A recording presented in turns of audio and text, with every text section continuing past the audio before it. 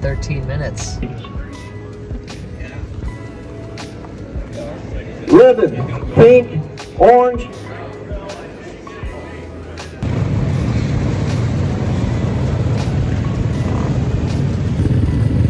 All right, we're here for the Sandwinder Enduro here in Smithville, Texas. I didn't get to race last week because of the rain out, so I'm super happy to be able to race this weekend. It's pretty cold this morning, it's like 33 degrees.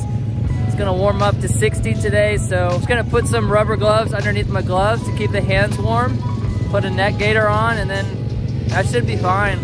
I'm sure I'll throw off clothes as the day goes on. So I'm gonna ride my KTM today. I got the clutch, master cylinder rebuilt, mostly worked okay. I think there might be a little small air pocket in it, which means I don't have the full clutch capabilities, but it won't stall if I pull it in, which is good.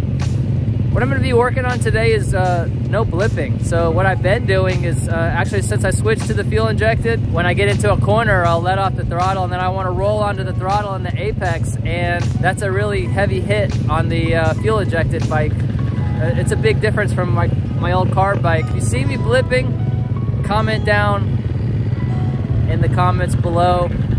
Chris, stop blipping around that corner. I'm kidding. Uh, anyway, I'm just gonna have fun today.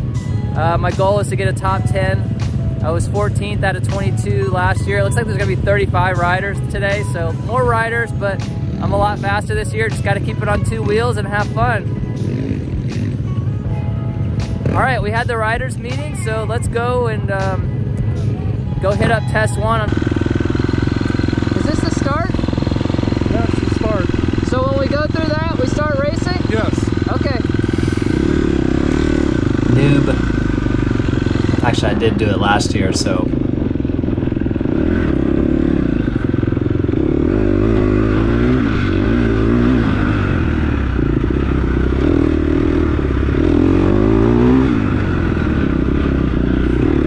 All right, 2024 Sandwinder Enduro underway.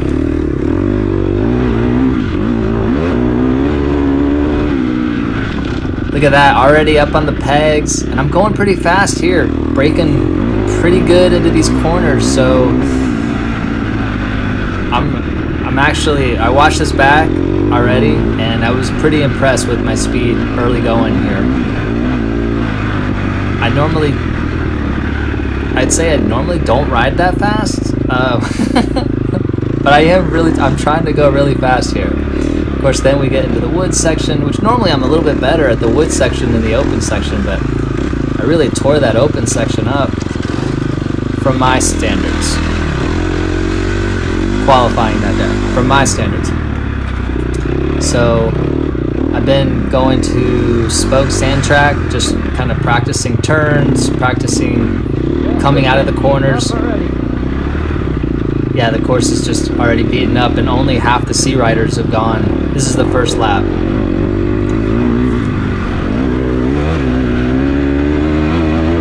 So I passed my first person there, which is good. Second person.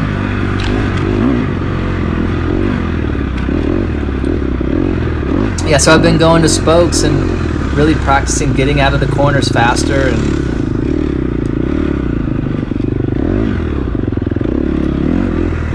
just getting on the throttle, but getting on the throttle hard, like twisting it, really twisting it all the way to almost where I'm pinning it or I'm pinning it.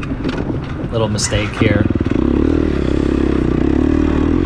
That costs you just a couple seconds. It's just more embarrassing than anything else. I think sometimes I just get too hard, I, I jam too hard on that rear brake and causes to lock up, causes it to lock up. Hard there. That root. That's always scary when your front wheel just gets kicked to the left or right and you're just not expecting it. Like you don't see the object, so you're not bracing for it. I know you're supposed to ride with your elbows up, but you know, sometimes I get a little lazy a little and bit of arm pump already.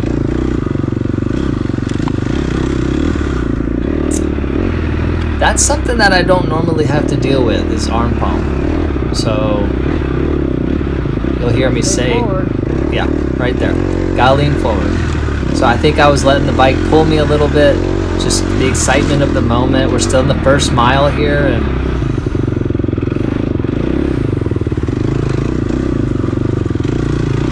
first of many, many, many mud areas. Not a mud pit.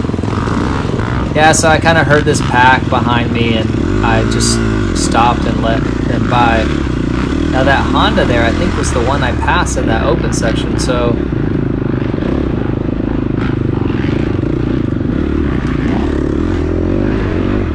Oh, maybe not. That sounds more like a 250R, whereas the one I passed, I think, was a an air-cooled bike.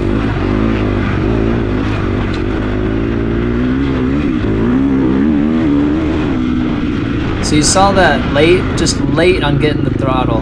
I should have been on top of the throttle while I was still in the woods, like right as it was opening up.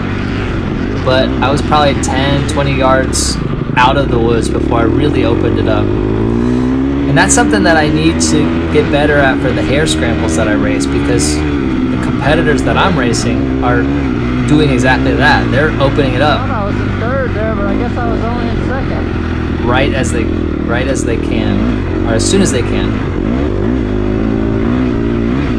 So you heard me say I thought I was in third, but I guess I was in second. I think there's a couple times where I actually didn't shift into third properly, and then there's a couple times where I just got confused by the RPMs of third gear, like thinking it was second gear.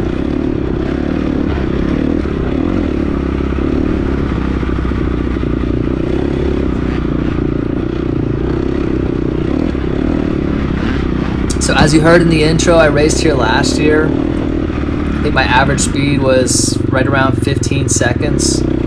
I'm sorry, 15 miles per hour, not 15 seconds. Um,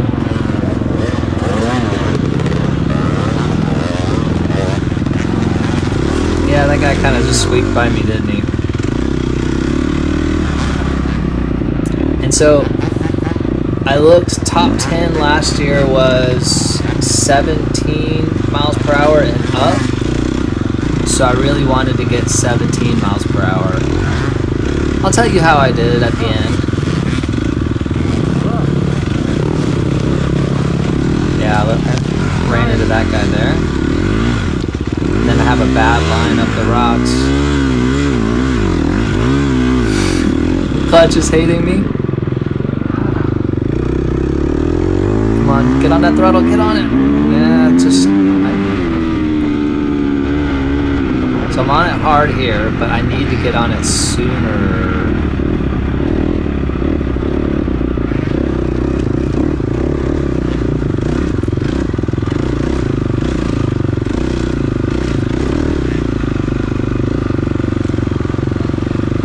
I don't know what those guys are doing, just kind of like having a meeting in the woods. The second guy, I kind of saw him doing this.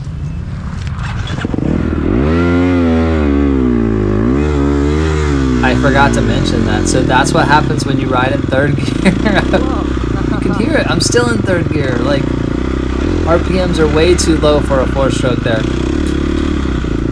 So, you know, a lot of my friends like to ride in a gear higher in the woods, which I think is good because the throttle is less. It, it hits less hard when you jump on it, and the engine braking is less on the four stroke, but of course, you do either have to clutch or keep the RPMs up. I'm not a big clutcher in the woods. A couple of my friends just clutch the hell out of it, and they're a lot faster than me. Maybe I need to learn to do that more. See, I'm standing over these whoops. I did notice that the shadows are making it really hard to see the definition of the course through the video. So when it's live, you can see it really well. It's crisp. You can see all the features, the roots, the rocks, the whoops, the ruts. But coming through the video, you have all the branches and creating all these shadows and everything, it, it's a little bit harder to see exactly how rough it gets. This will come into play on the, the last test, test three. Test three is just okay? rough.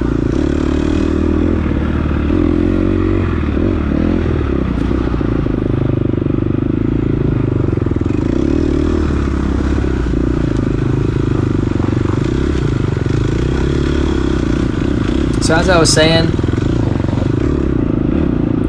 my goal here was to get a top 10. I know I need to go faster. I definitely start out faster. The bike I rode last year was a 2006 four-stroke. It's not really that fast of a bike. It's heavier than this bike. So I'm riding a lighter, more nimble bike and a bike that's much faster.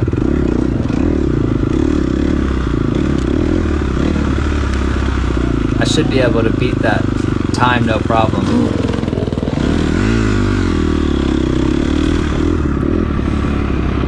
So I don't know if these are fast C riders or if these are AB Master riders. I know I got passed a lot by the, the Master riders and I I think it's frustrating on both sides. So the C riders are getting passed more often than they normally would, and the master riders are getting held up. Hey, look, like I've stopped. I'm not. I wasn't counting, but I'm just. I probably have been. I stopped probably like. I had ten people pass me in the last minute. So. I'm just losing time here.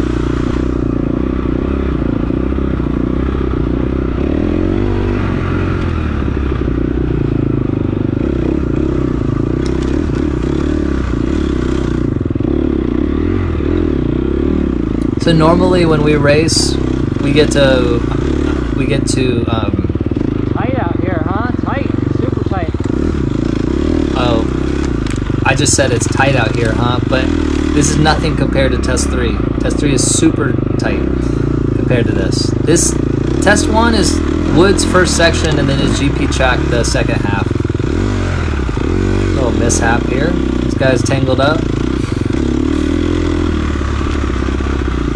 So yeah, I was thinking about saying something to the race promoter. I don't know if they can have the Masters riders ride with the A and B riders, just not do as many laps, or because they're doing more laps, the AB riders, do they need less riders to be in those groups? So, yeah, I talked to a couple B riders, and they're like, "Yeah, it sucks riding with the C riders because." We're having to slow down and, and pass and wait. And then the C riders are getting frustrated because they have to pull over more. I'm also not riding very fast here at all. So as I was saying, we normally get a practice lap and then you're familiar with the course. And I didn't warm up at all before I started riding, but I definitely ride this section a lot faster the second lap.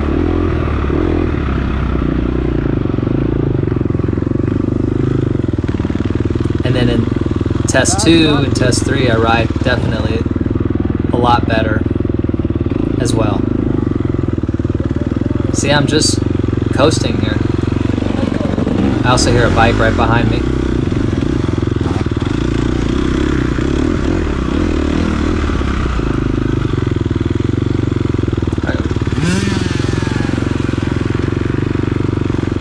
There's nowhere to go. Okay, I think there's nowhere to go. Watch, watch this. Guy does a little bushwhacking here.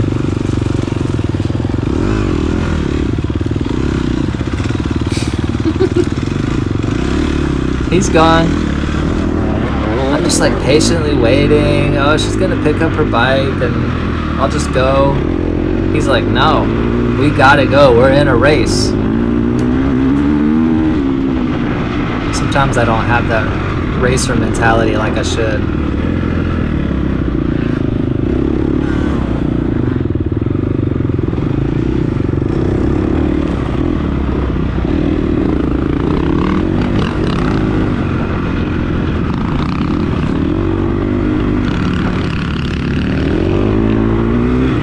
I don't remember being past this much actually, but now that I watch it back, yeah, I missed that turn both both times. It's a hard turn to hit because you're coming across that bridge going so fast. So I don't remember being past this much, but I'm getting past a lot. I definitely don't get past this much on the, the next two, test two and test three.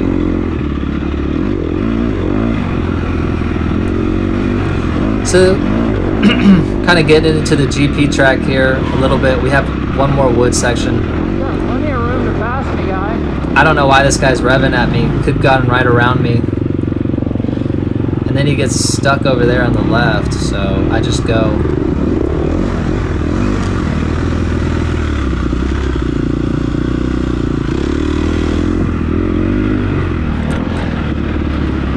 So yeah, there's lots of loose dirt here. Normally in the summer months, or when it's drier out, it's all sand.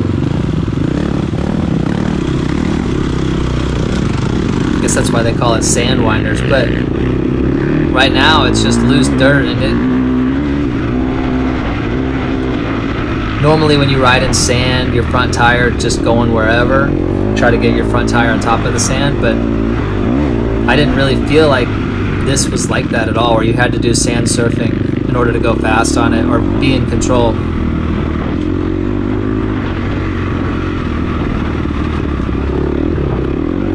If sand tracks were like this normally, I wouldn't mind it at all. In fact, I really enjoyed this. There's a couple parts where I get stuck in the mud later on that I didn't quite enjoy, but this GP track really enjoyed. And my suspension on this bike is so much better than my previous bike. So I just switched bike like five months ago. I'd been on that 2006 Honda for probably four years, my first bike. So this was a big upgrade for me. Oh, I forgot to tell you, 33 degrees. I think I said that in the opening, but hands are like Hands are stiff and cold. So I was kind of like moving them like this, try to get some blood going in them. I got some nitrile gloves underneath my regular riding gloves. They help. They definitely help. But my hands are still cold.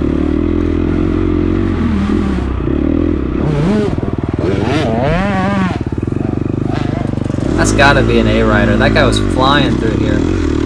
Maybe B rider. B riders are really fast too, compared to me. Body's warm. Hands are cold.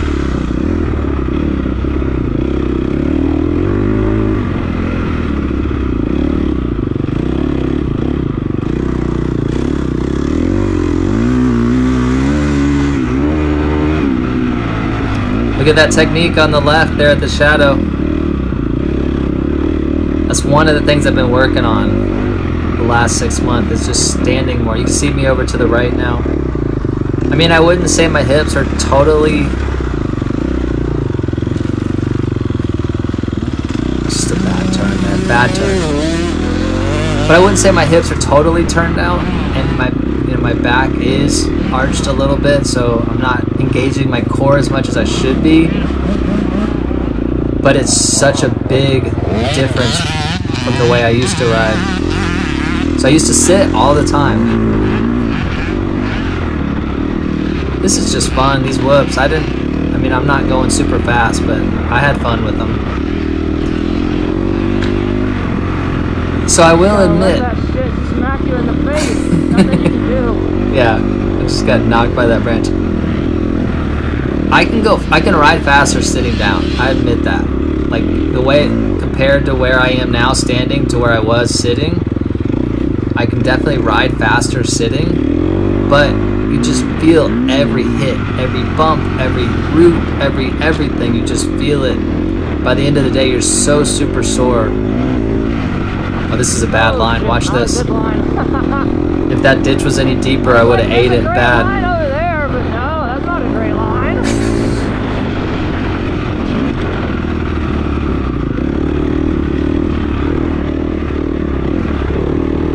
Yeah, so when I ride slow, practicing my technique, my hips are definitely turned out. My core is engaged, but getting in a- that with the Botox. I don't know why. I like to yell at the photographers. That's a horrible turn.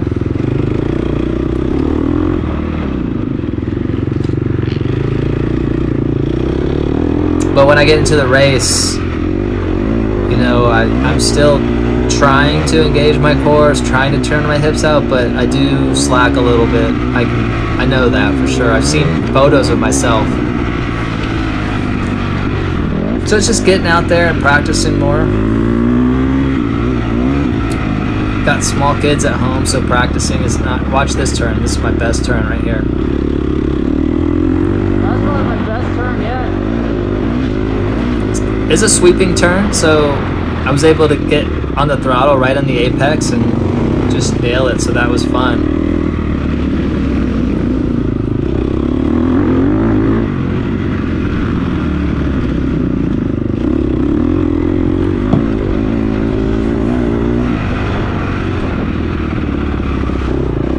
So I forgot to turn my watch on before we started.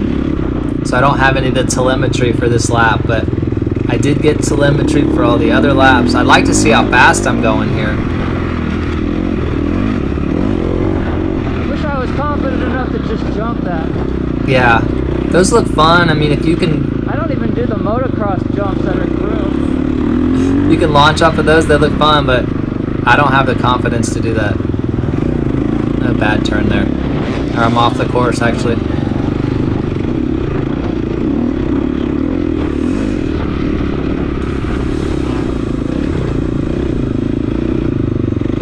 Sounds like I'm in third gear, about to stall here. That rush there.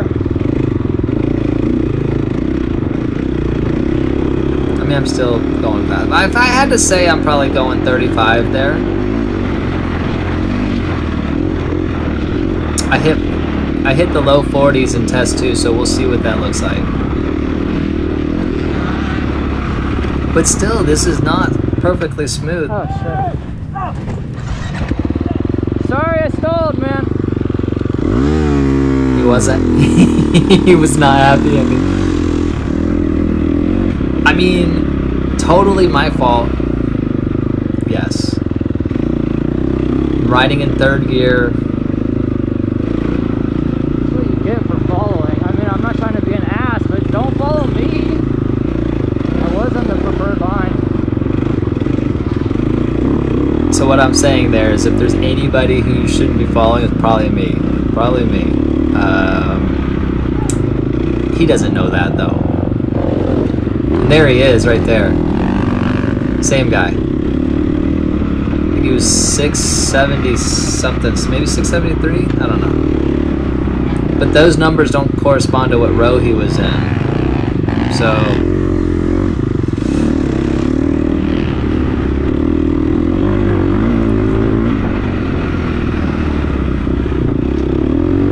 This GP track is so much fun. I think if I could just come out here and practice this, I gotta gotta ask them McMahon's if I could do that. Like I would just like to come out here and do laps on this GP track because there's no jumps. You know, when I do a motocross track, I always have to slow down and roll the jumps. But what I need to do is find a flat track like this to just practice on. I always hate hitting those things at an angle. I want to hit them straight on, but that one just couldn't do it. That guy had his tips turned out. He was looking pretty good there. And then he sits down and just rails that straightaway. So you want to go fast there, but in the back of your mind, you know there's a barbed wire fence sitting right there on the right. Any sort of like small little hiccup, and it's not going to end pretty.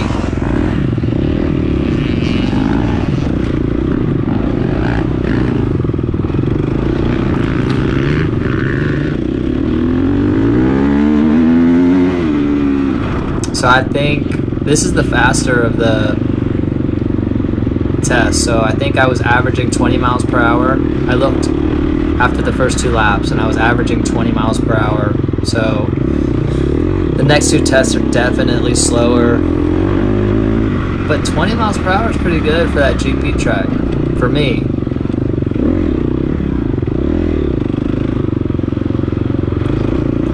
We raced here in November in our Hair Scramble series, TORCS, which is Central Texas series, and we did this section the the opposite direction.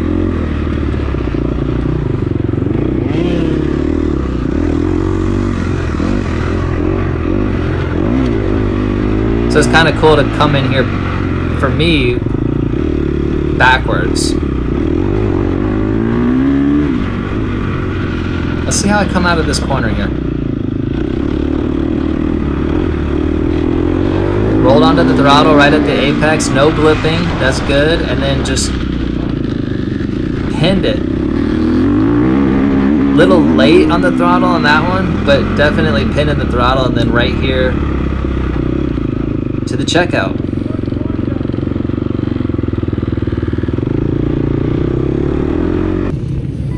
All right, test one complete. Boy, it's already chopped up. I feel bad for the A and B riders. it's Rudy. It's, ah, there goes my GoPro. It's Rudy, it's ruddy, it's sandy, it's muddy. It was a lot of fun, let me tell you. I really apologize to that guy where I stalled and then he ran into me. I mean, if there's anybody who shouldn't be following, it's probably me. Um, I apologize to that guy. I gotta figure out what his number was and send him a message. All right, well, we're gonna rest up for a second and then go out for test two. It's the same track. All right, so this isn't actually test one, it's just this test two. It's the second lap of test one. I gotta do two laps of test one, two laps of test two, and one lap of test three for 30 miles. All right, let's go do it. All right, so we're just gonna do the highlights for lap two because we just saw the complete lap one. See those roots, The course is getting, of course, Rudy, Rudy, present, Rudy. course is getting chopped up. Standing up there, Hans. Yeah, I didn't really feel any of those bumps. I could feel the bike moving left and right underneath me, but I didn't really feel any of those bumps.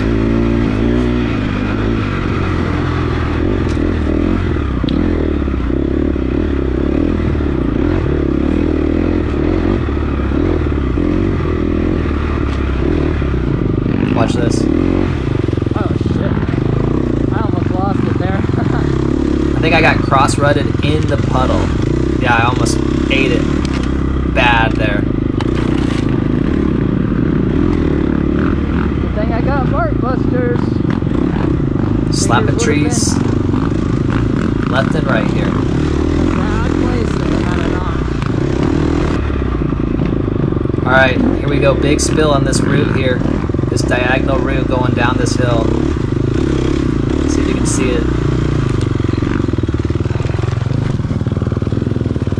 Front tire just hits that root and slides right out. Fucking root. Apologize for the language.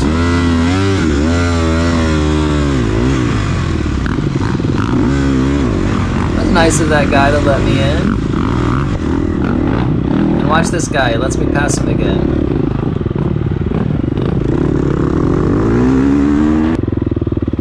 What's going on here? That's so nice.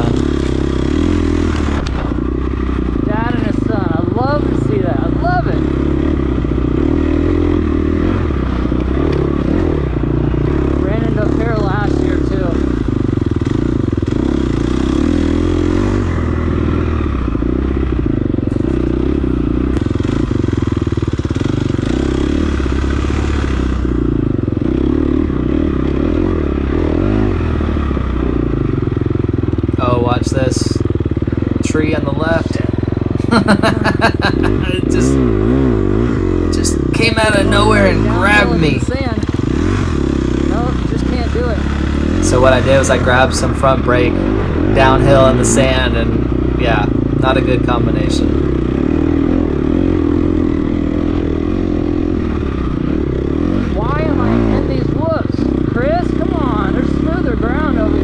So what I need to be doing is going to the side of the trail where it's all smooth, but there I am riding right in the middle of the trail in the whoops.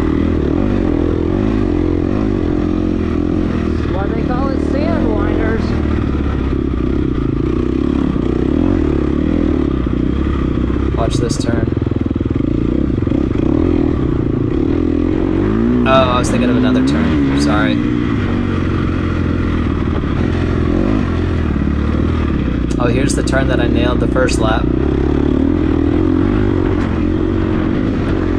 Not as good. Favorite corner. I nailed it twice. Yeah, I think I did better the first lap though. Stayed on the throttle longer. Shit. Sorry, I remember I that. I think I mashed on the brake too hard, and the bike just slid out from under me. Hit the back brake hard and the Really the rear just came around. I saved it though. I felt like I was going a lot faster in test two. That was really nice. I only got passed a couple times, so like the the, the amount of racers was less on the course while I was on it. I did have that one fall. That route, if you take that route, it's just unavoidable. You're gonna fall. It's just that, that diagonal wet route coming through that downward, uh, like four foot drop.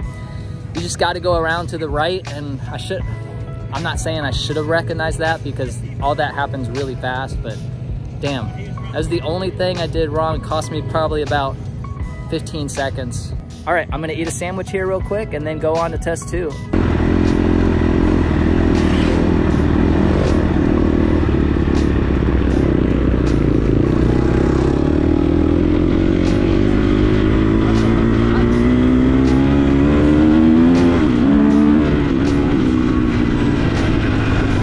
Two-way traffic, yeah. It's, it was this thing, actually.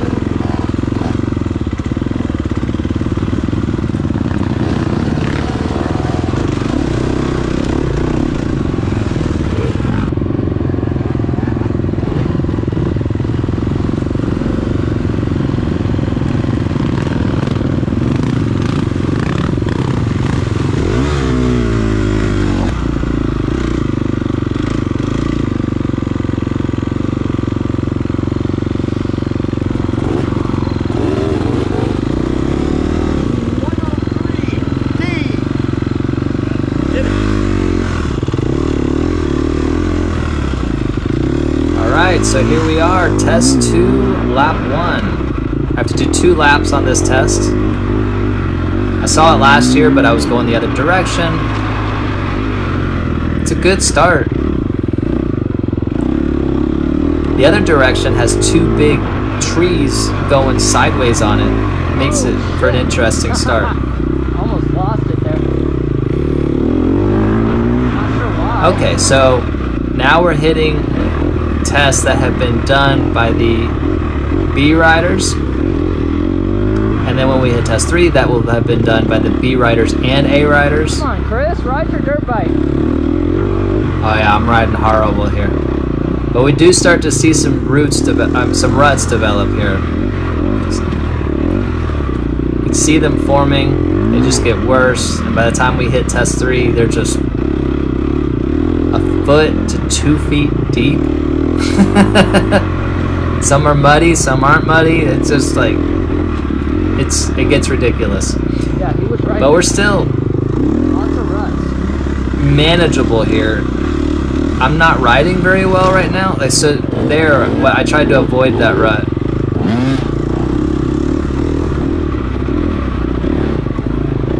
But I need to do a better job of avoiding these ruts because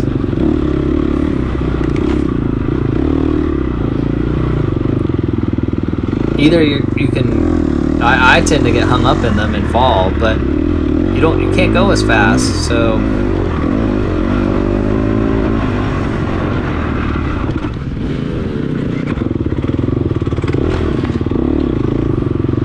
I think I stalled in the same place on lap two. It was a nice job avoiding that rut, but this is where we get into. So on test one, you didn't have these options where you could take multiple paths, but in this one, you really get some options where you kind of have to do some trailblazing. We'll get into that, I think, towards the middle of the test. But there are some places where this test opens up into some grass fields and kind of like transfer sections in between woods. It's not, I don't want to say transfer section because that has a meaning in enduro, but um, but like some really fast sections in between the woods. This is where I get up into the low 40s. This this test.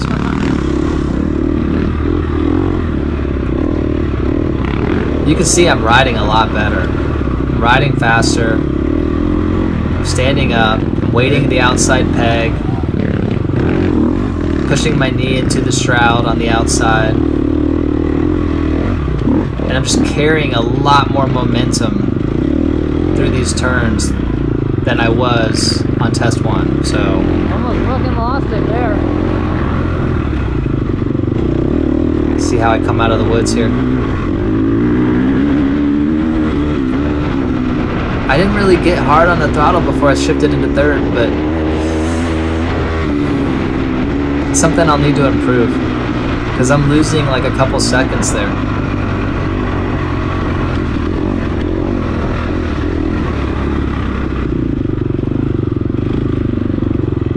And then I'm always hesitant to just let it fly in those open sections. It was nice of him to pick his bike up right as I was coming through.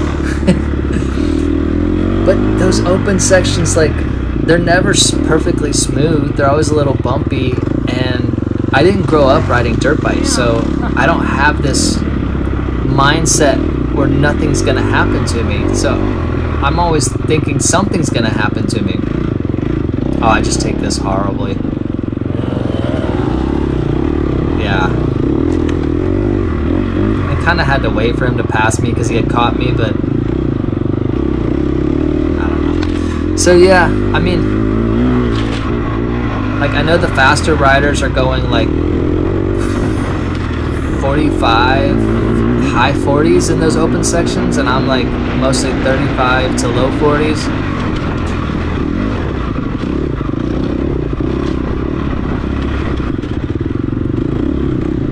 I just gotta overcome that fear, and I, I think that's just doing more riding. Kind of beating myself up here about like riding right in the middle of the trail again, where it's smooth on the outside in the grass. I should be over there in that smooth. Let's see how I do in this open section. There I go. See, went right over to the right where it's like a little smoother. I'm right on the edge.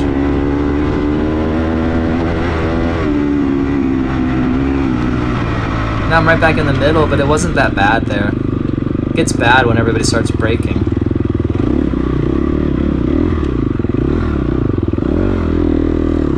I saw a couple videos, people going to the left of that tree, taking the inside.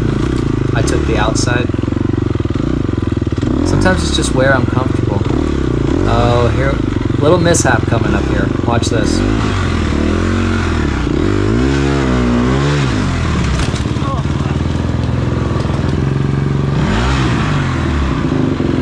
First of all, there's no traction on my tire because it's an old tire and I, I've ordered a new one already. All that for And concrete and dirt don't mix, we all know that. And so the back tire just went whoop, like just slid right out. So I'm encouraging myself to keep it on two wheels.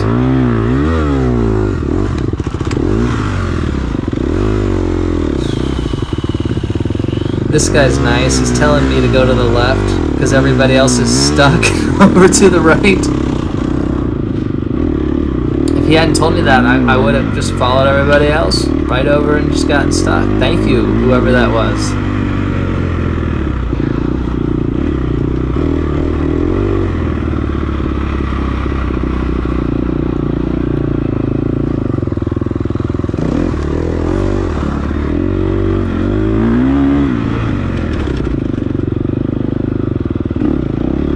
Last two times I've gone out and practiced, I've really been working on blipping. As I said in the opening, I switched from a carb bike to a fuel injected bike. And when you get on that throttle, it hits hard. It throws you back. And then you let off the throttle, it throws you forward. So you're off. If you're riding in the pits in first gear, you're like, ah, ah, ah, ah, ah. It's hard to ride smooth in the pits in first gear on this bike. First, I thought I was doing something wrong, and then I realized that kind of happens to everybody when they make that switch. So if I take that same mechanism of being thrown forward and backwards into a corner and I'm trying to roll under the throttle in the corner, the bike is compressing, uncompressing, compressing, uncompressing, just makes these corners very unsettled. I kind of I've been listening to my last couple turns and I've actually been doing pretty good. Fucking whoops, man. Cursing the whoops. But Woo, whoops, So I think I do a decent job in test two here. Test three, just throw it out the window. And I, I even say it in the video.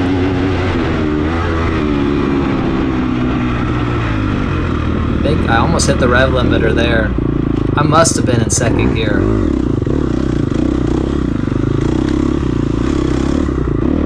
I forgot to look at the speed up there. Was anyone else? I can't rewind it now, but was anybody else watching the speed? I know I hit 42 miles per hour in one of those open sections. That might have been it right there. in second now.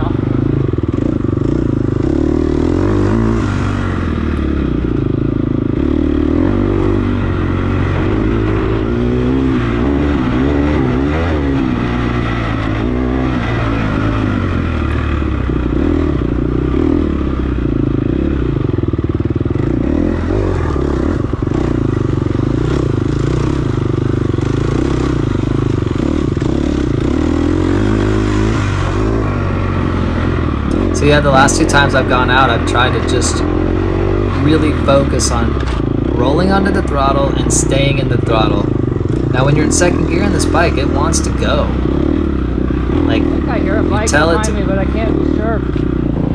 you roll onto the throttle and it wants to go and sometimes being more of a beginner like me you don't want to go that fast you just want to go slightly faster you know roll onto the throttle preparing to open it up coming out of the corner.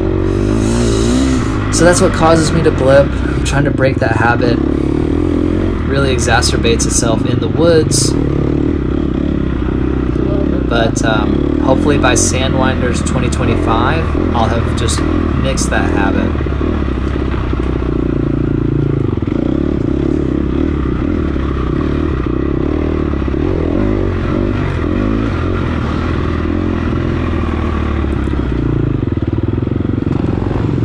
Passed me, then he fell. I think this guy He's on a newer. I think he's on a 250R, but he does this pretty much throughout this whole test. That was a nice job avoiding that rut. That was a deep one. Look at these two ruts.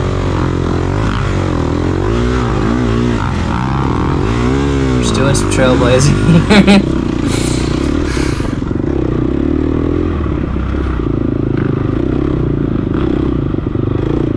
So he falls a couple times and I pass him and then he comes and passes me back because he's faster than me, but he just doesn't. He might not be as a woods rider. He might be a motocross rider, or I don't know. He might be overriding. I don't. I don't know. Uh, here's me doing some trailblazing over here. Actually doing better this year staying in ruts than I was last year. Like I'm not scared of them anymore, which is good. Um, my front tire's not wanting to come out of the rut, I'm leaning more. I'm getting more comfortable leaning. I think this is just a product of me not being a motocross guy. Because motocross guys want to ride the ruts because they can turn faster riding in the ruts. And when I go on the motocross track, I'm like, I don't want to go in that rut. but I need to because, you know, when you get on courses like this, there's ruts. So he goes down again.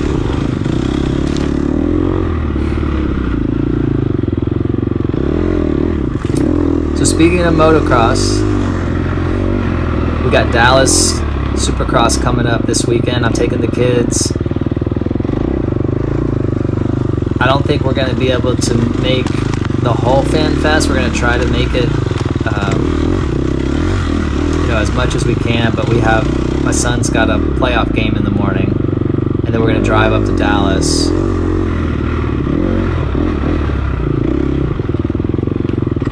So my oldest son's going to root for Tomac, but he says if he was betting money, he'd go with Jett. If he was betting his money, he'd go with Jett. Look at these look at these ruts. Doing a good job staying out of them. Yeah, see, he's faster than me. He just keeps passing me and then let and then letting me by and then pa- it, it's like a yo-yo. But um, my second oldest is rooting for Webb. We actually got Webb's autograph last year, which was kind of cool.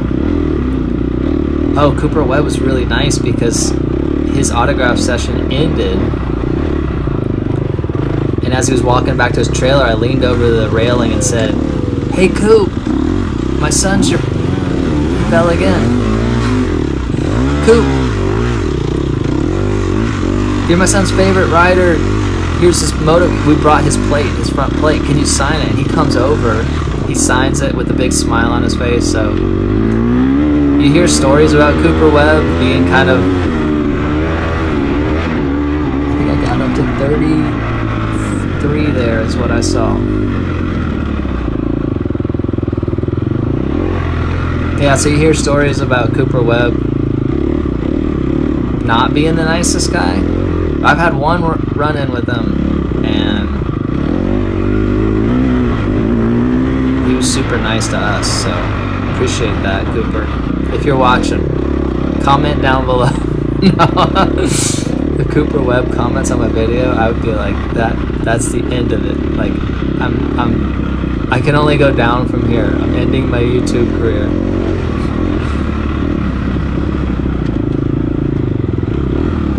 I was rooting for Roczen, Roczen and Sexton when they were both on Hondas. I mean, I still like Kenny. It's kind of up and down. Chase had a bad year last year, even though he won the title.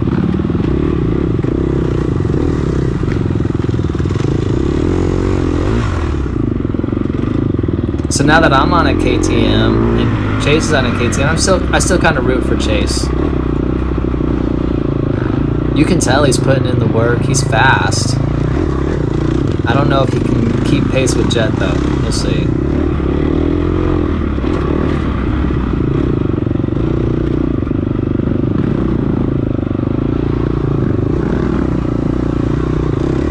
Jason Anderson's been riding well this year. Kind of nice to see him and Jett doing a little battle. My son, my sons keep asking when is Bam Bam gonna put Jett into the wall, but I don't think Justin can keep up. be honest. Thank you. I will have to say on this um, section, I don't get past nearly as much. So when we were waiting for section or test two, lap one to start, there was a ton of riders there because they extended the time by 30 minutes for test one. And I think all the fast riders just went up to the front. Like all the AB riders. And I was kind of near the back. And I think that's what we're seeing here is I'm able to ride at my own pace. I'm not getting I mean I've had a few riders pass me.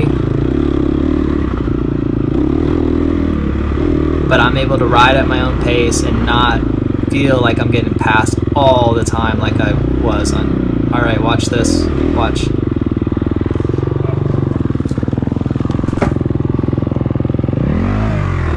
Chris, go right in the middle. Okay, I recovered pretty quickly, but I don't know why my front wheel just went right up the left there, and then it's like that's too steep. I kept the clutch in and got right back on though. Pretty fast recovery for me.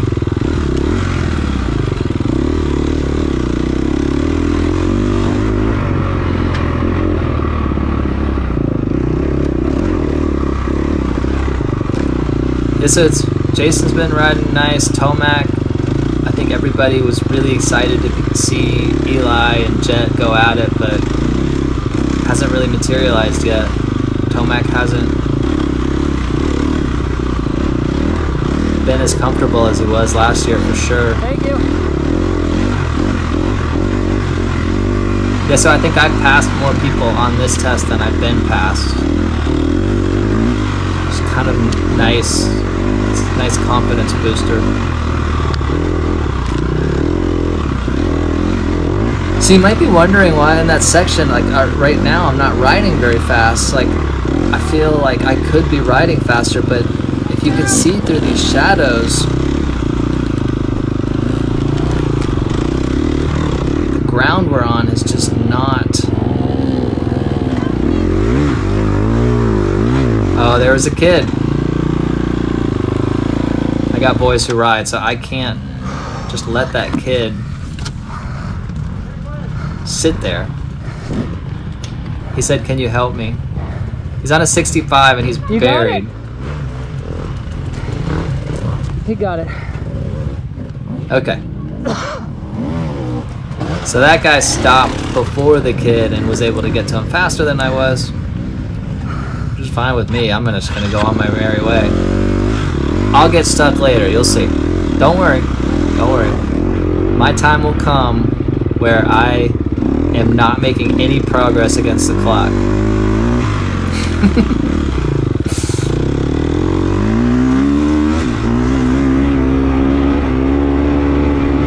Let's see what we get up to. That was 37, I think, there.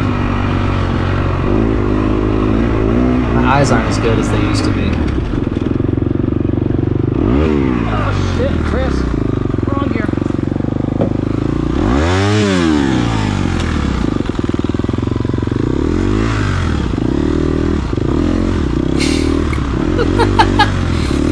Trying to come out of a corner in neutral.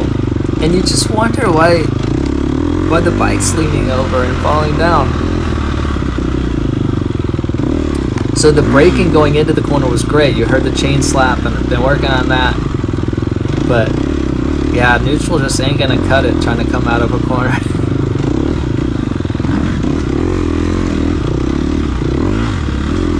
I feel like I'm riding pretty smooth here though. I'm not chopping throttle. Almost decapitated myself.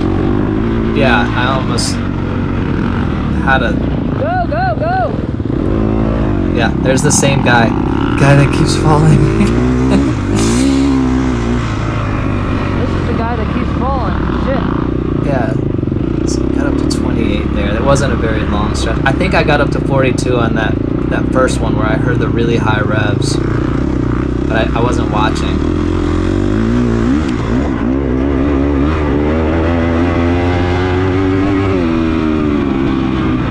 It's 33. I must have had to have been second gear. That's third.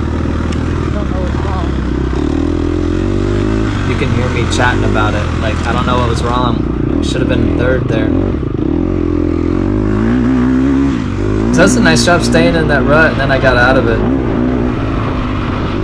But for me, going like 28 miles per hour through the woods right there, that's that's pretty big. Like, I would have never done that last year. I would never have felt comfortable doing that.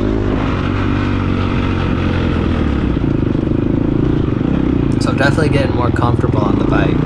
Nice grass section here. Hey, open fields like this. Can't see any holes. That's 41 right there.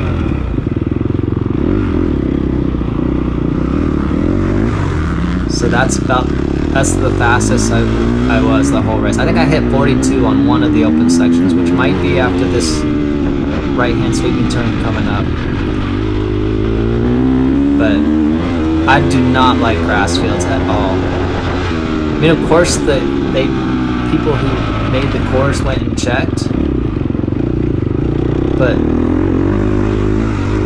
if there's a hole that comes up, you nothing you can do. You can't see it. You're just gonna your front wheel's gonna dive right into. Okay, so second lap I go over to the right here, but on this lap you don't know what's coming up, so I'm just going right through the the mess here. And it gets messier. So what's weird is there's no leaves on the tree. You can see all of this getting plenty of sun. I got stuck there. I don't know why this didn't dry up. So we didn't have any rain the week before the race, but we had plenty of rain the week prior. And then the week prior to that. And so the ground was completely saturated. So out of you to do that. I just, with it being so sunny right there, I just didn't understand why it was still so wet.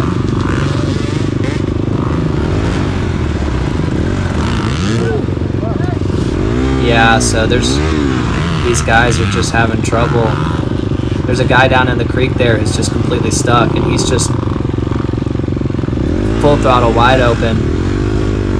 And I'm like, well, let me just go over here where it doesn't look like it's as bad.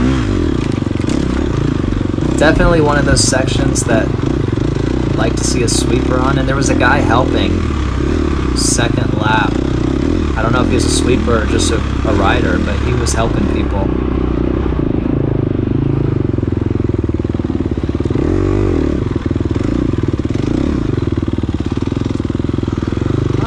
I don't know what I'm doing here. This is just bad riding. Got some diagonal routes in here, which sliding everywhere. sketchy. You heard me say my back tire sliding everywhere. Down all over the place. it's carnage. Okay, if I were a sweeper, I wouldn't know where to start, honestly. Like, there's just so many people that need help. Stayed in that rut pretty nice.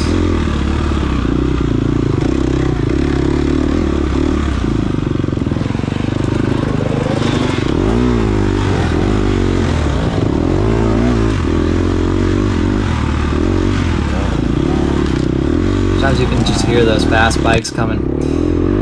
Yes, I wanted to talk a little bit about enduro versus hare scrambles. So what I normally do is race hare scrambles.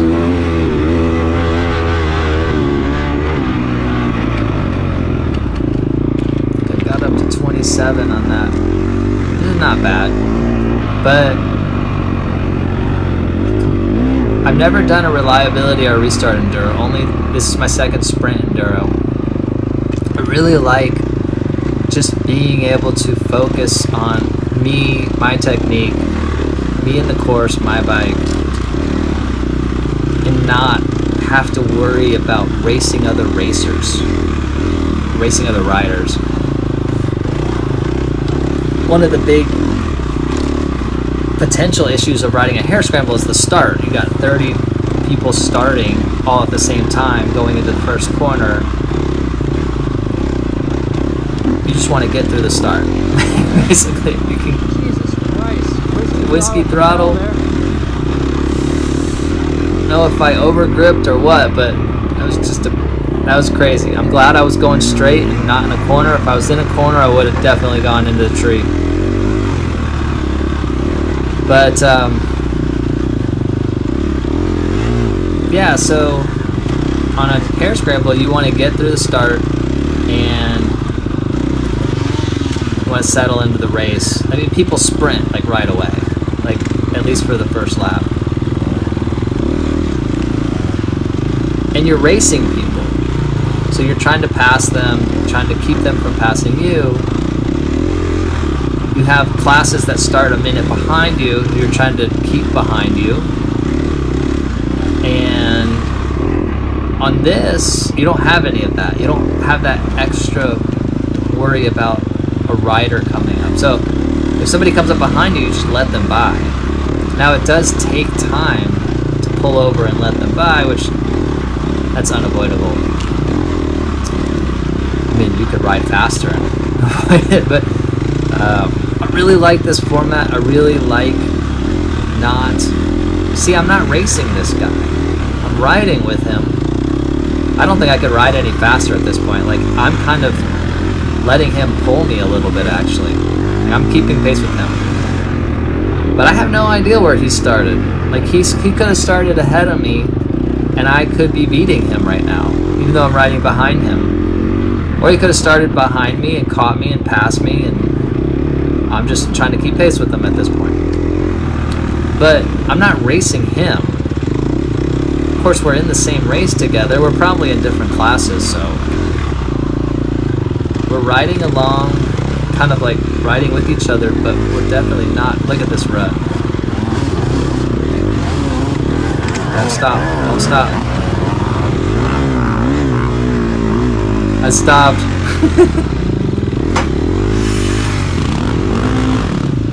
this is where all hell breaks loose, right here. So I'm following this beta in front of me. This this is the guy that keeps falling right to the left. There's a guy stuck right here. Look at this guy stuck up here. I just get in that rut, and then I see him, and then I'm like, ah, I can't go anymore. I can't get out of this rut. And all of a sudden, I'm just like, I have to stop. And once you stop, Oh, you can't go again.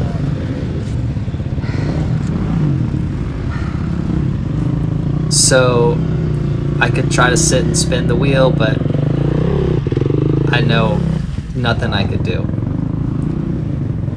I'm tipping the bike, trying to get the back wheel to break loose a little bit. So what I'm going to do here is put it in first gear and slip the clutch as much as I can. Try to keep that rear wheel from spinning to see if I can just get any traction. I was slipping the clutch so much that it just stalled. These guys all found a way through.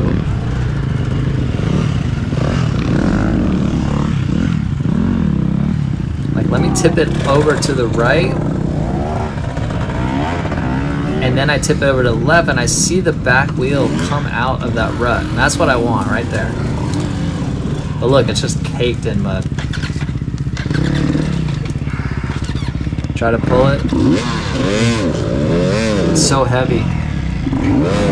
So heavy. All I can think of is Ricky Carmichael and the 100 pound wheelbarrow right now. it's true. Bike is heavy. Okay, look at the telemetry up there. Just that big red mess. It looks like a, a three year old's crayon scribble.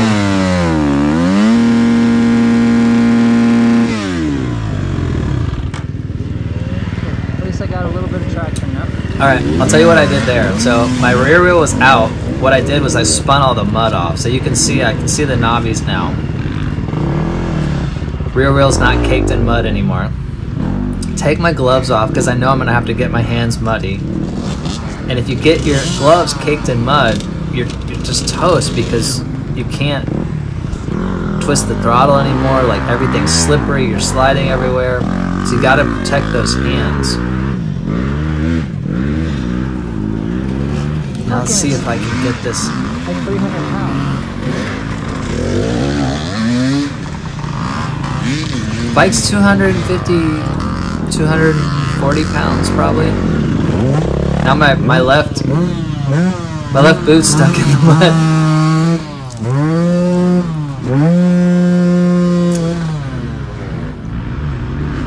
And laying down like that, I think I probably have to lift like, I don't have to lift the whole bike, so maybe 100, 130 pounds of it. But it's still, it's just, it's stuck and it's heavy. So these two kids right here on the 65s, they race in the racing series, the Hare Scramble racing series that I race in. It was cool to see them out here battling these conditions. So I got the bike out of the rut. I still have to figure out how to free it though. It's still, even though the rear wheel's not in the rut anymore, it's still, the bike is still stuck. This guy's got a stick and digging his bike out. Let me try the front wheel. Ah, I got it to budge. That's my ticket right there. I just realized I'm out.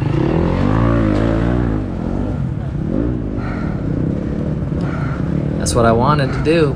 Pick it up and roll it over. You hear the heavy breathing though. I'm just gassed at this point. I'm just gassed.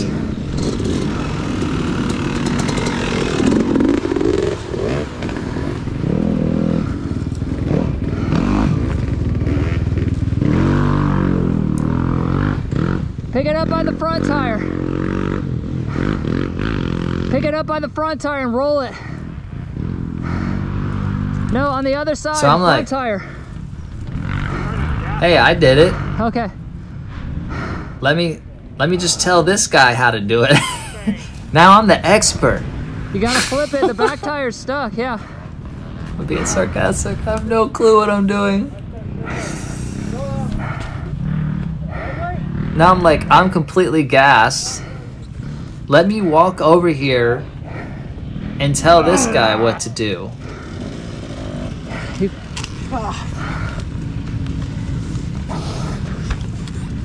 But he's stepping on his tire. I don't want to bend your. No wonder he can't lift it. Shit, that one's that one's stuck.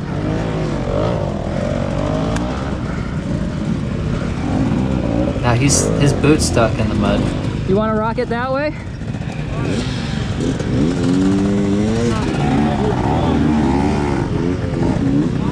Let's try going that way. You ready? No. Hey, can you give us some help? Yeah.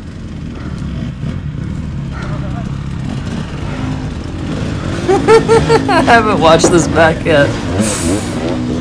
I, I just always skip this part because I want to see myself riding, and um, Okay, push. I haven't actually watched this part back yet. Okay,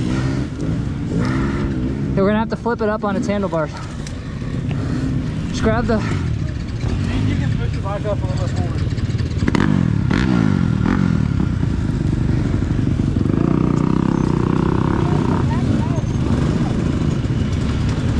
That 65 looks like it's in gear, All right, we'll deal with that one or next. Come something's on. going. So I'm just saying to this guy, let's let's get this one going. No, we're flipping it up We'll on deal its with it. handlebars. Hey! It's not budging. I can try to pull it this way. This beta is just stuck. Now my now my boot's stuck again. Oh fuck. I got no energy left at all. I'm just reliving this just Back up. Sorry, dude. Is what it is. Sorry, man. Yeah, no, it is what it is, yeah.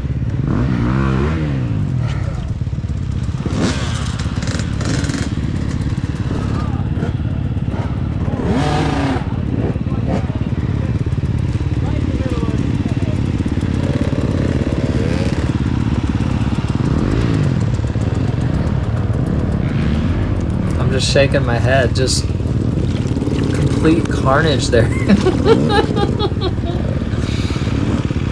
okay. I in my in my racer confessional or whatever you want to call it after this test, I, I mentioned like where are all the sweepers? And I'm I'm just looking out here. I don't see a single sweeper. Now I know enduros are different than Hare scrambles. Hare scramble is like a six to eight mile course, one course that you're doing laps on. Some, you know, sometimes they're 10, 15 miles. No, no, sometimes no, there's two no. to three hours. You'll get stuck doing that. Here I am, the expert I'm again. gassed, man. I just helped him. And so, this guy is You just gotta trying. have to flip your bike over. This guy is just trying to gas it out, and he's just getting stuck more. I'm stressed out.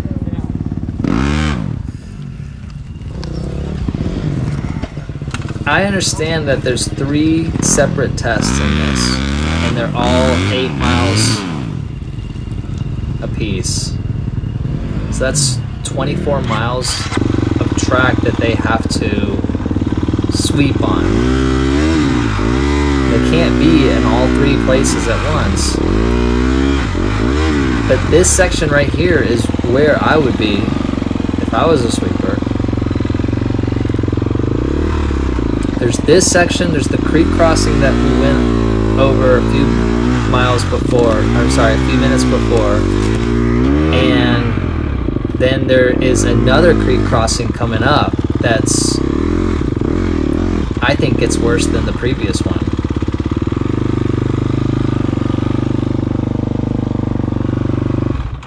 I feel bad, but I am absolutely gassed. Barely can ride out of here. So you heard me. I said I feel bad. I tried to help him, but I'm just absolutely gassed. Like I got no energy left at this point.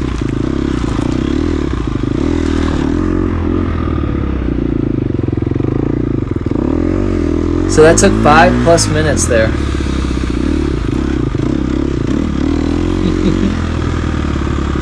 yeah, that was interesting.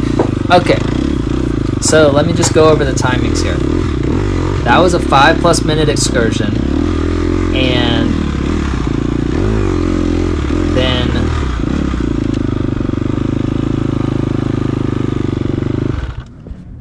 on the next lap, right before that part, I tried to help another guy.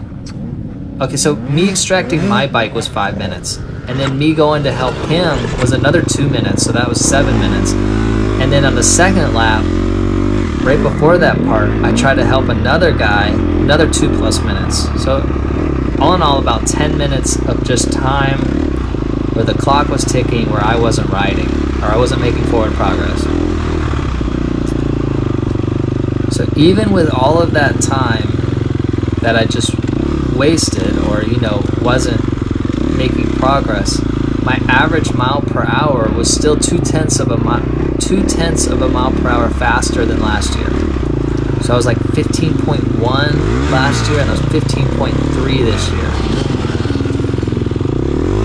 So just super proud of myself for going, I think, probably one to two miles per hour faster. Like my goal was 17. Obviously I didn't hit that, but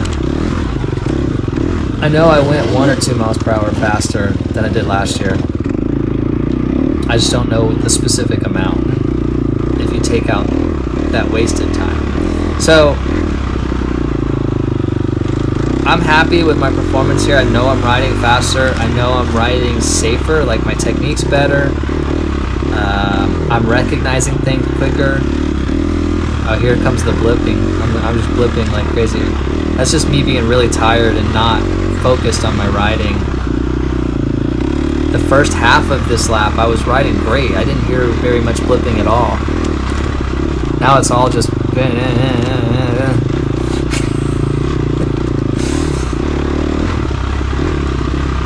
if you can laugh at yourself, I mean, I think that means you're having fun. So, I'm, ha- I'm definitely having fun out here.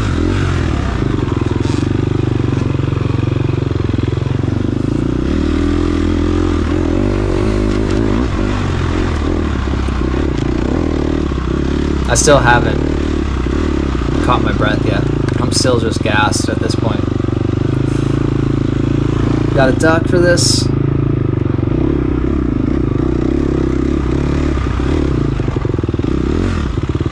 But yeah, so 2025, really, I think my goal there is going to get up, be up into the 17s. I think the people who podium were on the podium in my class were in 18 to 18 and a half mile per hour. So, still got a ways to go to catch them. But it's all about small incremental improvements and having fun. And I'm doing that. I'm practicing. I'm getting seat time, recognizing things faster. I'm not hitting any marks right there, just I was all over the place, but look at that rut. It's always nice when you come up a, among two people who are stuck and you know, oh, don't go over there. Like, I'm, I'm gonna go way around here. I'll even slap that tree, but I'm not going in that mud pile.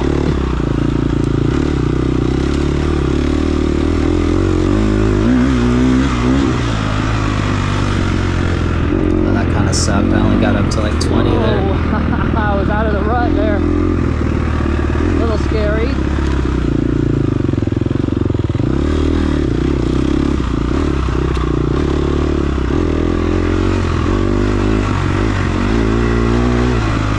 little fun down and ups here. There's two of them.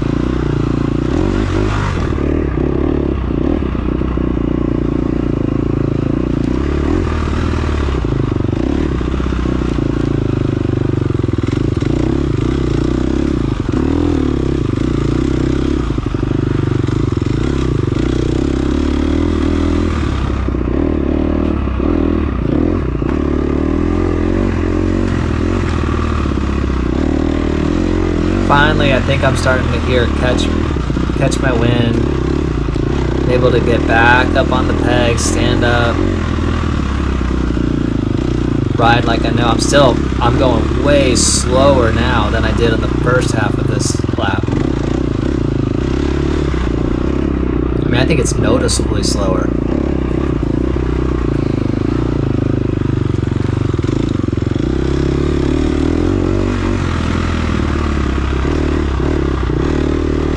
There's an open section. Let's see what I with it.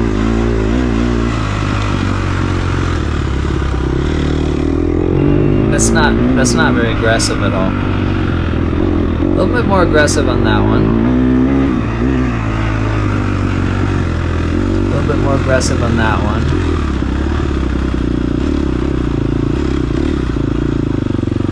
I kind of think we're trail riding right now.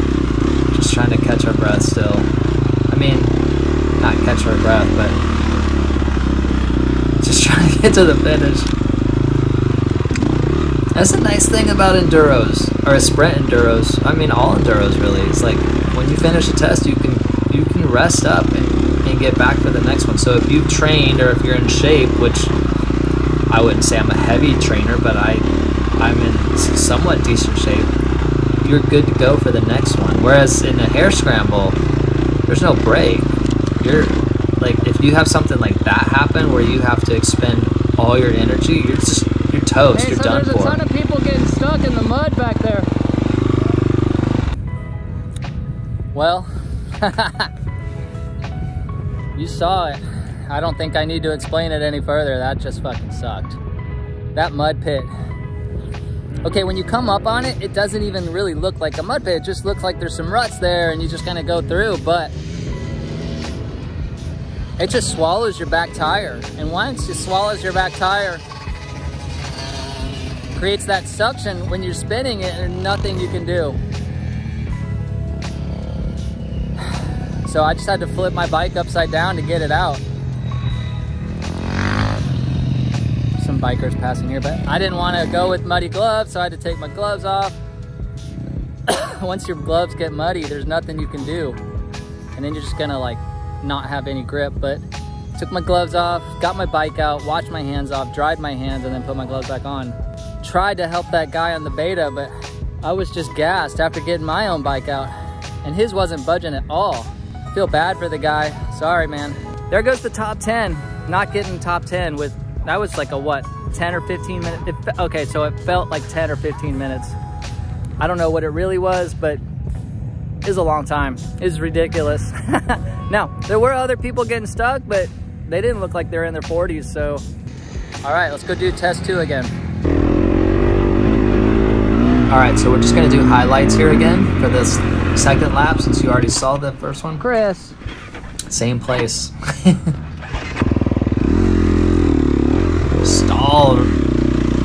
I guess stalling's better than falling, but come on, man. Stalling is better than falling. You're right.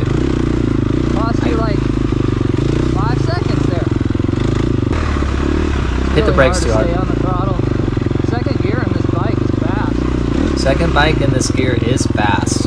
Like staying on the What do I throttle in second gear, even though I've gone from 52 or 52 three rear to a 52 tooth rear, it's still fast. Didn't make it up.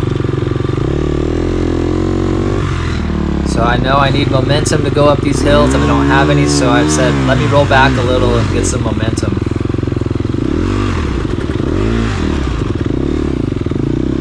Yeah, so I went to a 52 tooth rear, make it a better wood so I can ride in third gear more. Second gear's fast in this bike. Oh, almost lost the front end there. Woohoo! Almost pulled a Sexton. Almost pulled a Sexton. Look at that bike on the left. It's just completely buried. Look at this rut. It's crazy. My clutch is hating me. Did that thing have a back wheel on it? If it did, I couldn't see it. Back wheel just completely buried.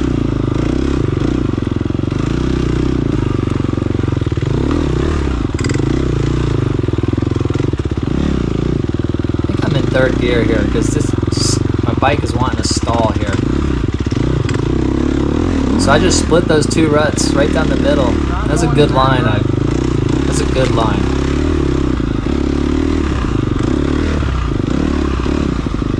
Stay off the mounds, Chris.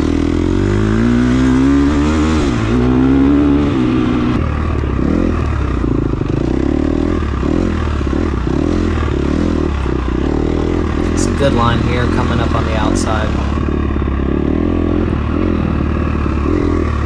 I know Much I'm better living, than but the this first is freaking lap. hard, so excuse me. I know I'm blipping, but this is freaking hard, so excuse me. I talk so much during the races.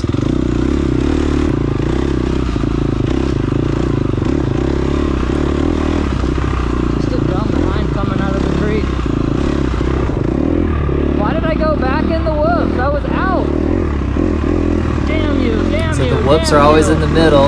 I got out of the whoops, and then I went right back into them.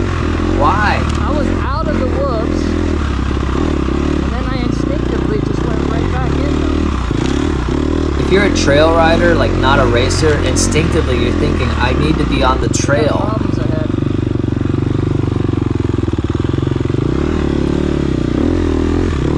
So this is where I was talking about that this is not this is almost impassable here. So this guy down in turquoise down in the creek is oh, just spinning his wheel making that hole deeper. Then there's a guy over on the left down in there too where this guy walking is going to help with. He tried to go up that hill to the left. Is it reversed? It might be if that's for you guys, but this guy's coming along. He's like, I'll try to come through. This guy's gonna spray me. Go to the right. Go to the right.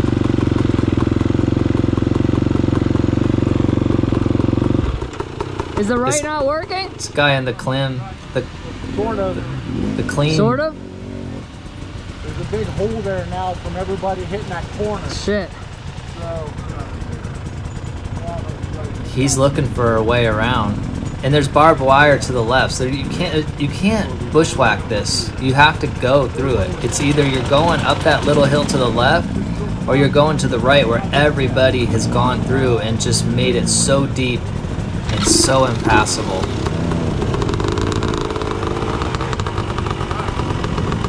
Great if there was a sweeper in here, but there's not, so we're just kind of left figure it out ourselves. So he gets his front tire up out of the rut and just gasses it, and I'm like, well, he did it. I can't do exactly what he did, but I can follow that line. So what I did is got my front tire down into the muck, made sure I was perfectly lined up. Back tire was still clear, I could get momentum. Once I was perfectly lined up, I just gassed it. And I made it. that guy was there. You hear that? Did what he did. I'm saying I'm glad that guy was there, because I just did what he did. If he wasn't there, I would have surely gotten stuck. so sore right now. But I'm not, and it's not. Okay, so this is that creek crossing that's impassable. And I see these two guys over there. Like, I'm gonna go way over to the left this time. I don't know if this is a racer or a sweeper. Looks like he's in motocross boots. He's What's telling me to go. He said it's simple. He's like, go, you got it. I had it until I hit that little twig there that got caught up in my shroud, and I'm like, I'm gonna rip my shroud off. Let me go back down a little bit, and then I can go up. And he was right. It wasn't bad at all. But if I had gone down the the actual main path, no way.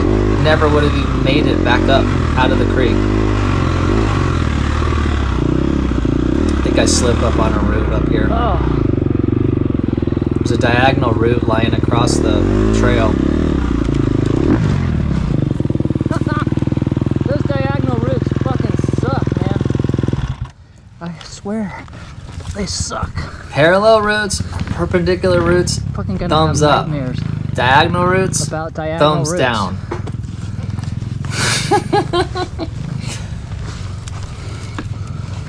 if you try to if you try to hit one of those dead center, there, there's no way. There's no way. You have to hit it all the way to the left or all the way to the right.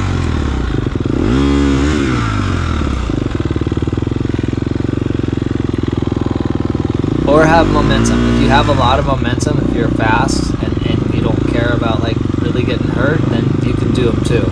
But that's not me. Get another one.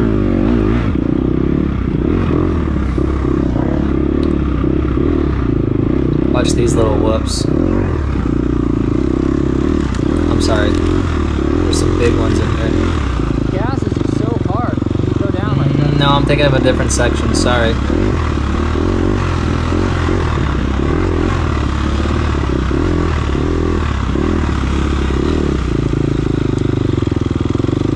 That rut right there. Got, don't want to go in that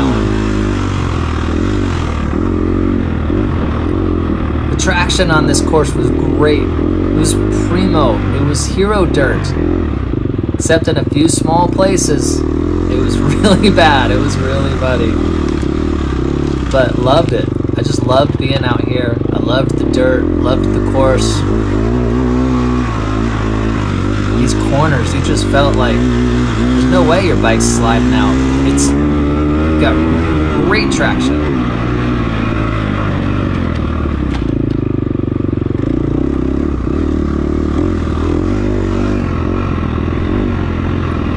You gotta be coming up on that mud pit.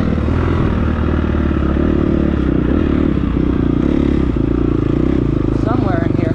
Yeah, so I don't know exactly where I am, but I know I'm coming up on where I spent the five minutes. I know that's coming up in the next mile or so.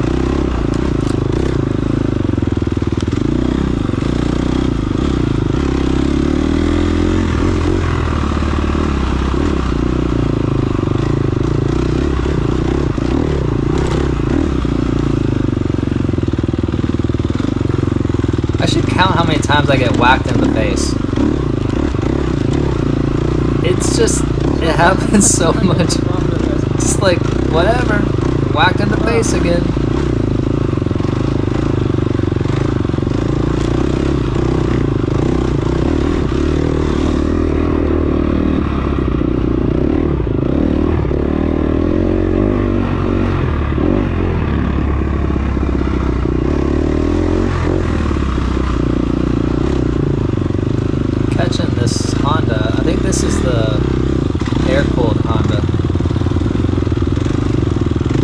pass on the first test, right at the beginning.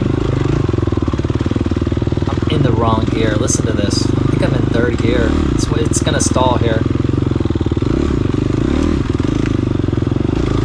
Must have pulled in the clutch because it really wanted to stall.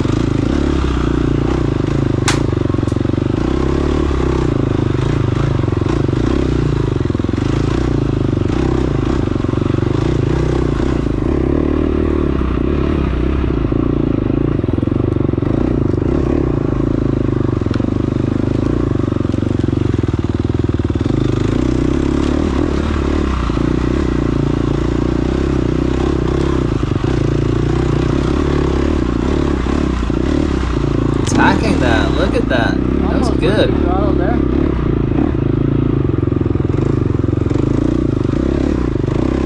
Sometimes I get a little bout of courage and then just attack sections like that. Need to bottle that up.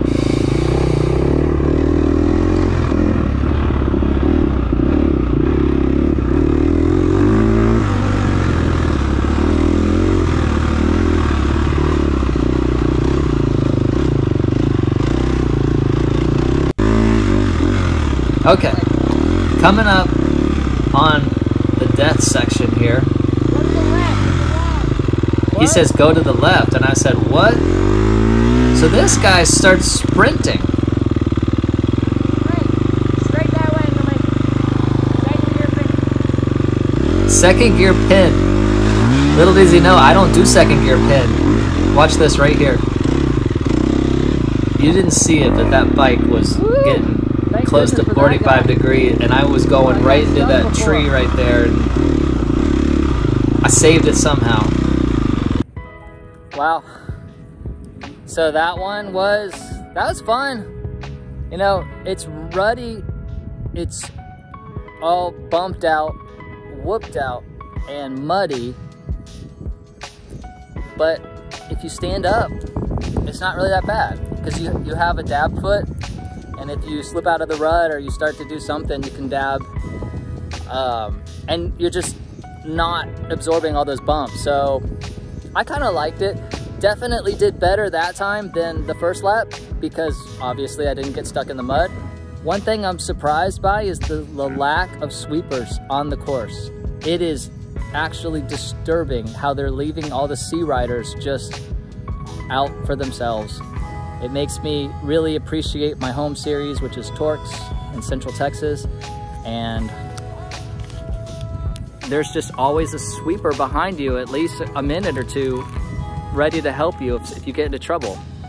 And out here, there's no sweepers. Last year, I saw a sweeper on test three, which I'm about to do because basically there was a creek crossing with a hill and it was impassable, and he was out there just making a new path. It's the only time I've ever seen a sweeper out here on this Enduro series.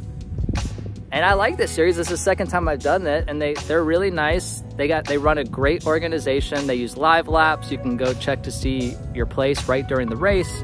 Everything is great. It's just all their volunteers are dedicated to scoring.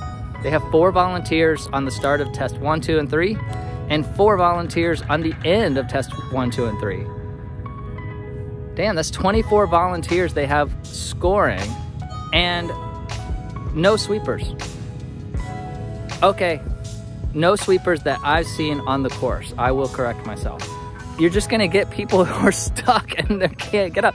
You saw that one bike that was stuck that I said, does that bike have a rear wheel on it?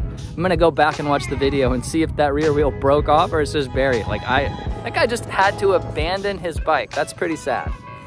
So I'm having a great time. Got one more lap. I got a lot of energy left. Let's go do test three. We only have one lap, eight miles left, and then we're done. Test three is the hardest.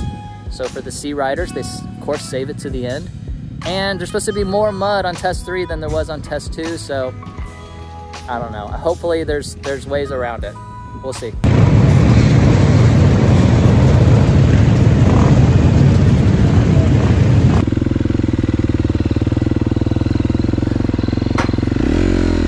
He's like, go, go. he just got clocked by the check-in RFID. So I watched this back already. I was actually really disappointed with how I started this section. Like I'm going up this long hill here. I'm not attacking it at all. It's not really that whooped out or anything. You got this one little downhill here that I was taking it easy on because I didn't want to fall, but Alright, watch this.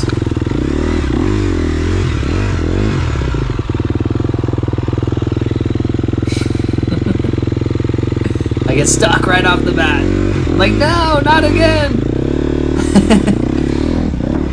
so yeah, I, I was a little bit disappointed with how not aggressive I was at the start of that. Couple creek crossings already. Here we go. Here So the photographer that got me was in one of these creeks, and I just don't know which one. I think it's in the next creek crossing coming up shortly. Because I took the next one a lot with a lot more momentum. Damn, three creek crossings.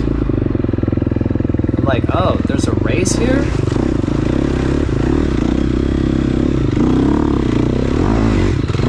And then you got that root from hell coming up out of the creek. Hey, Jay. my friend Jay there.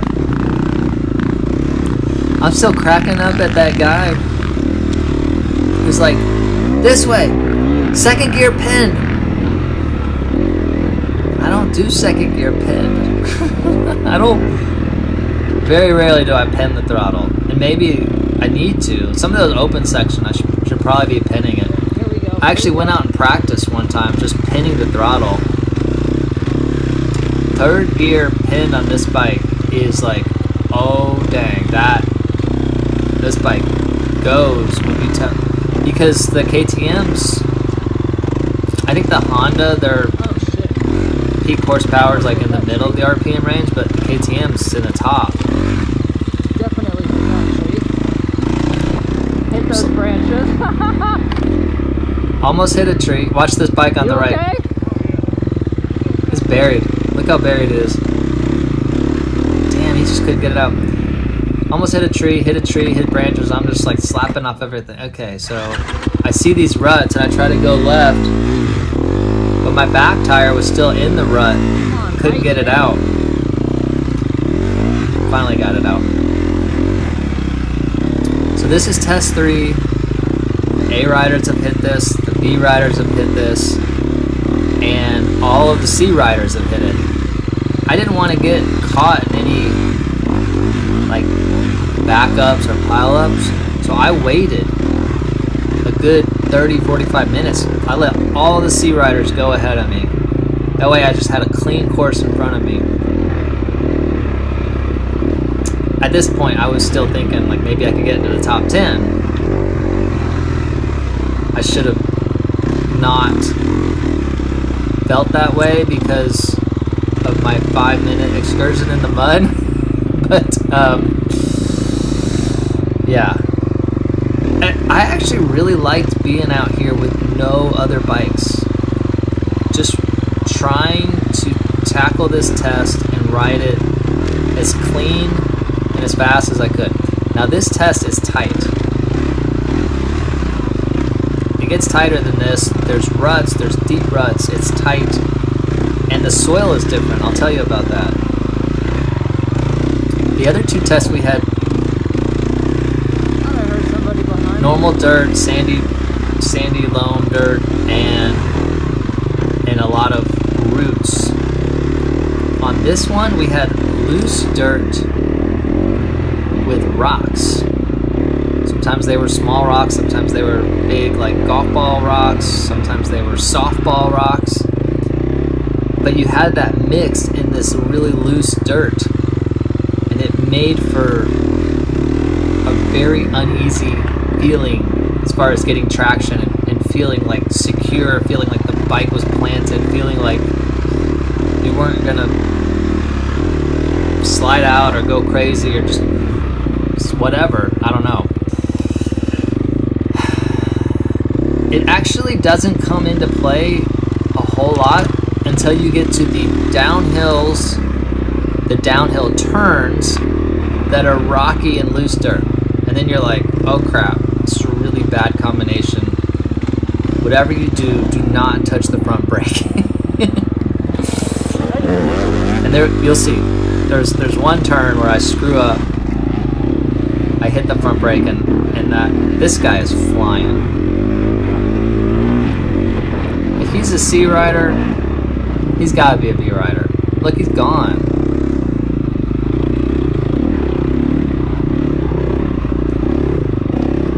So I really enjoyed being out here sort of by myself. I mean, I think I get passed by like three people, three or four people, and then I pass a couple people. I know there is uh, a woman's rider behind me because I was talking to her at the start of this test, and she rides in our hare scramble race. So I am kind of tuned into the fact that I really need to be aware of bikes coming up behind me because I knew she was in the top one or two positions in her class, and I didn't want to like block her or screw screw any of that up. So I'm riding. I'm look at me bushwhacking here. Um, I'm bushwhacking. I'm trying to miss all the ruts, the deep ruts. Trying to keep the bike on two wheels through all the loose gravel and, and rocky stuff. I'm zigzagging here like crazy. But then I'm also kind of tuned into like bikes coming up behind me as well.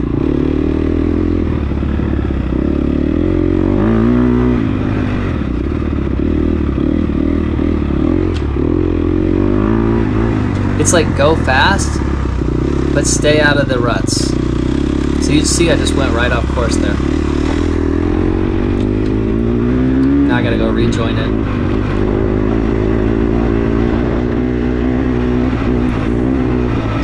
to like 27, I think, there. So a little tentative on that. Should have been in the 30s.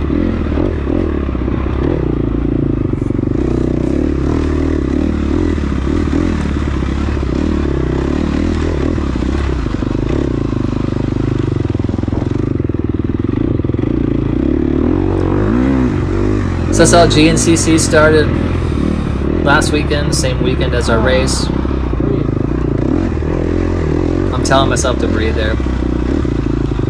So there's a rider I've been following, um, Jesse Ansley. He did GNCC, but then I don't think he did it as much last year. Uh, he went back and did more Florida Trail Riders. So I've been watching some of those races. They have so much sand down there. I used to live in Central Florida, so I know all about that sugar sand they ride in. Definitely different from the Central Texas sand that we have to deal with. But he's back riding GNCC, and Stuart Baylor, follow him a little bit. He actually ended up getting second. They're both actually on Kawasaki's, I think uh, 450, 450Xs. So that's interesting.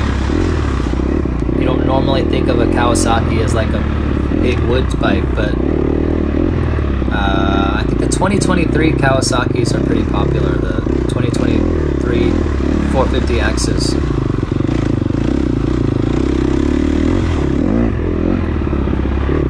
And Kawasaki pays good contingencies too. So if you're a privateer like Jesse Ansley, and um, I know in Supercross they pay double contingencies. I don't know about GNCC. Maybe they do, maybe they don't. I don't know. If you know, comment in the comments below. That's why you see so many privateers in Supercross on Kawasaki's. That rut was deep, but I did a good job going to the right. Alright, so I open it up here. Oh, I was thinking that this was that straight section, but it wasn't, because I saw the barbed wire fence. Barbed wire fence is going to come into play in a minute.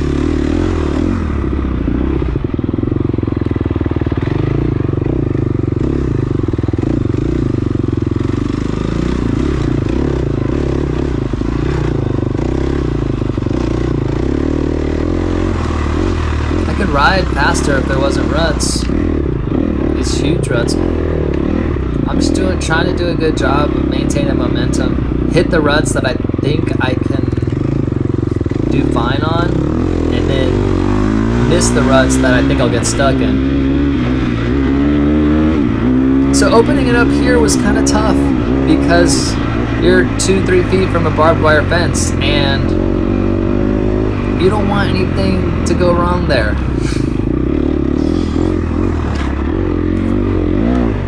I mean, it's happened to a lot of riders. Get mixed up in that stuff. It's not pretty.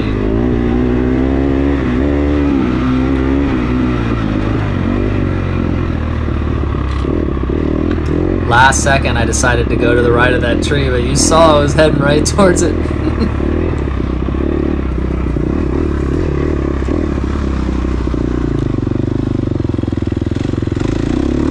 Alright, so I mentioned in the previous test, restart or reliability enduros. I would like to do one of those. It's tough for me because this is the only one in our area. This is a sprint enduro. It's the only enduro in our area. Except for the summer, there's a summer series at sprint enduros. They're a little bit shorter. But our hare scramble series that goes January through December, and we take a break here in the summer in Texas because it's just too hot. But those are all local races. Those are, I think, the farthest one away from me is like an hour and a half. They're all an hour away. But these enduros, even though it's a Texas series, some are in Oklahoma, some are in Louisiana. They did one in New Mexico last year. And even the ones in Texas.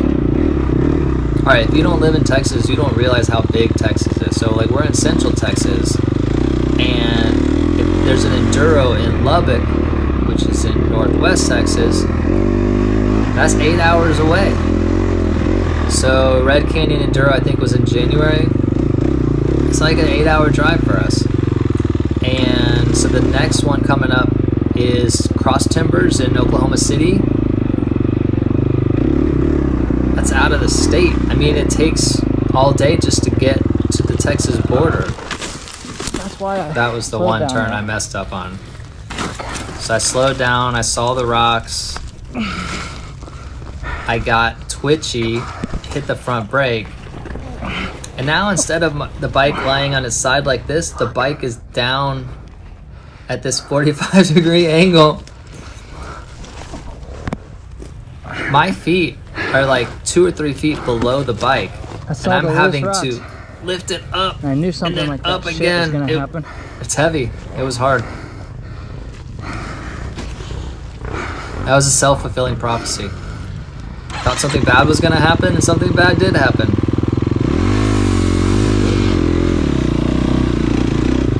Yeah, so I saw back to the enduro thing. I saw a video of Cross Timbers,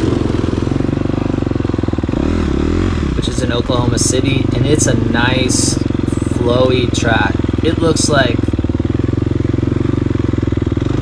I mean, it's just something. If you can get in a good flow, it's a nice rut there that I took.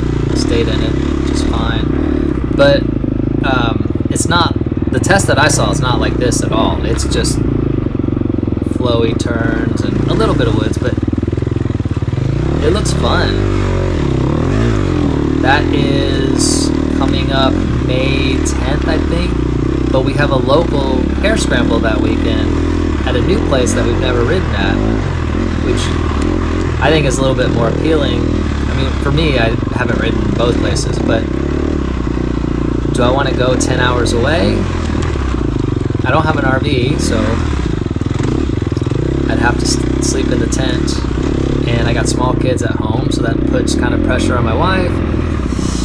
Or I could just wake up Sunday morning, 5 a.m., drive to the local race, and be back at home for dinner.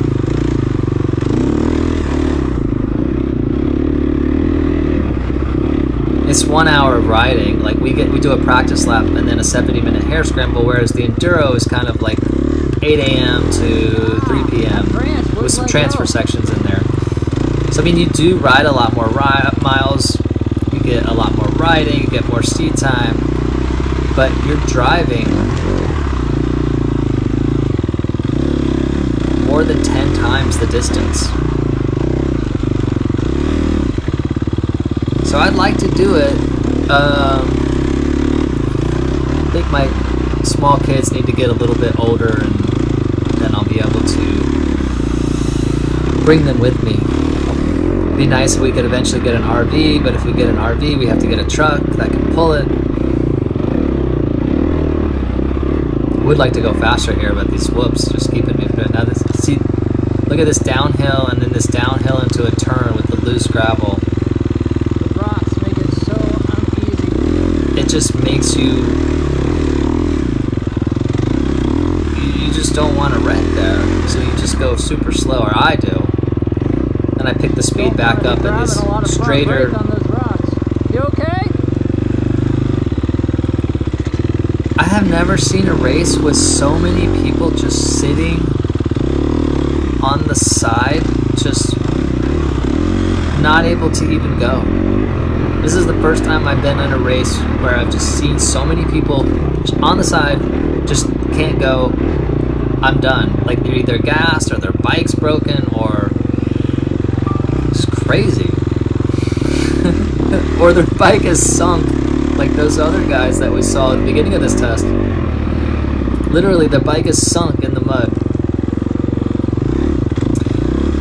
So yeah, it would be nice to do a season of enduro. I don't think the promoters for this series are talking to the promoters for the hare scrambles that I normally do because four of the eight enduros this year are on the same weekends as the hare scramble races. So that kind of stinks. direction in the middle of the hill. So like, let's say I wanted to do both of them. Would, I wouldn't even be able to compete in both series.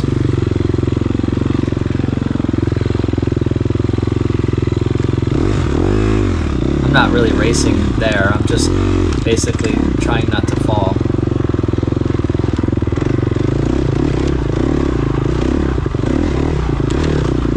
Damn.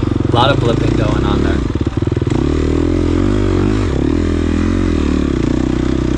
Clutch is screaming at me.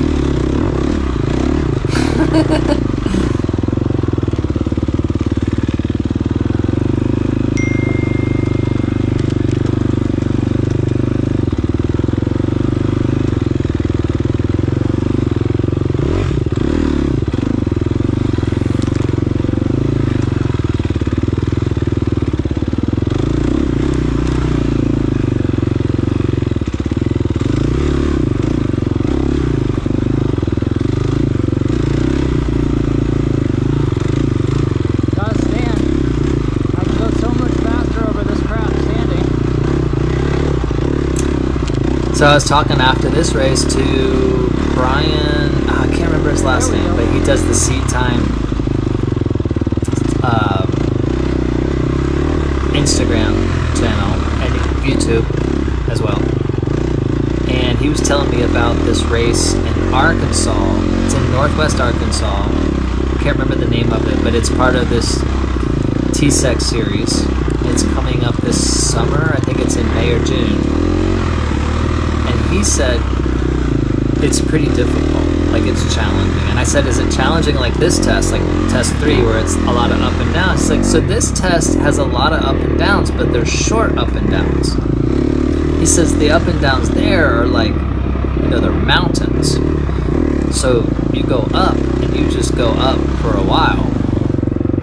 He said it's also very technical. I think i hear a bike behind me there yeah, so I need to find a place to pull over.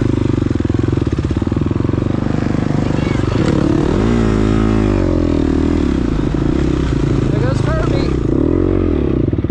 She caught me. Damn. Just trying to keep her behind me. Yeah, I knew she was gonna start a couple start a minutes couple behind me, Behind me. and I was thinking to myself, okay, let's Fast though. She's fast. let's try to keep her behind me. I'll, I'll just stay in front. She's fast. Like, I looked at her lap times, and...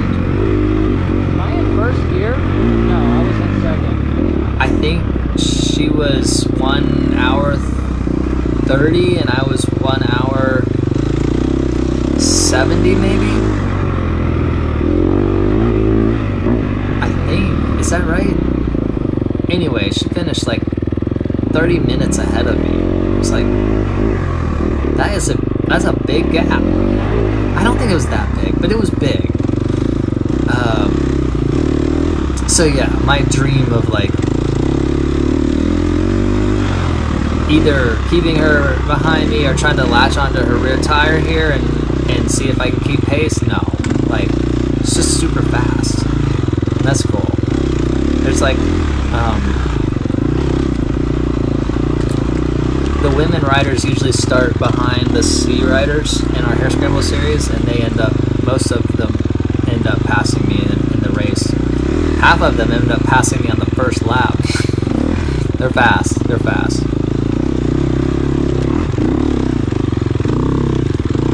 So as I was saying, I was talking to Brian from Seat Time. He was telling me about this race in Arkansas, and it's pretty challenging. He said it's technical,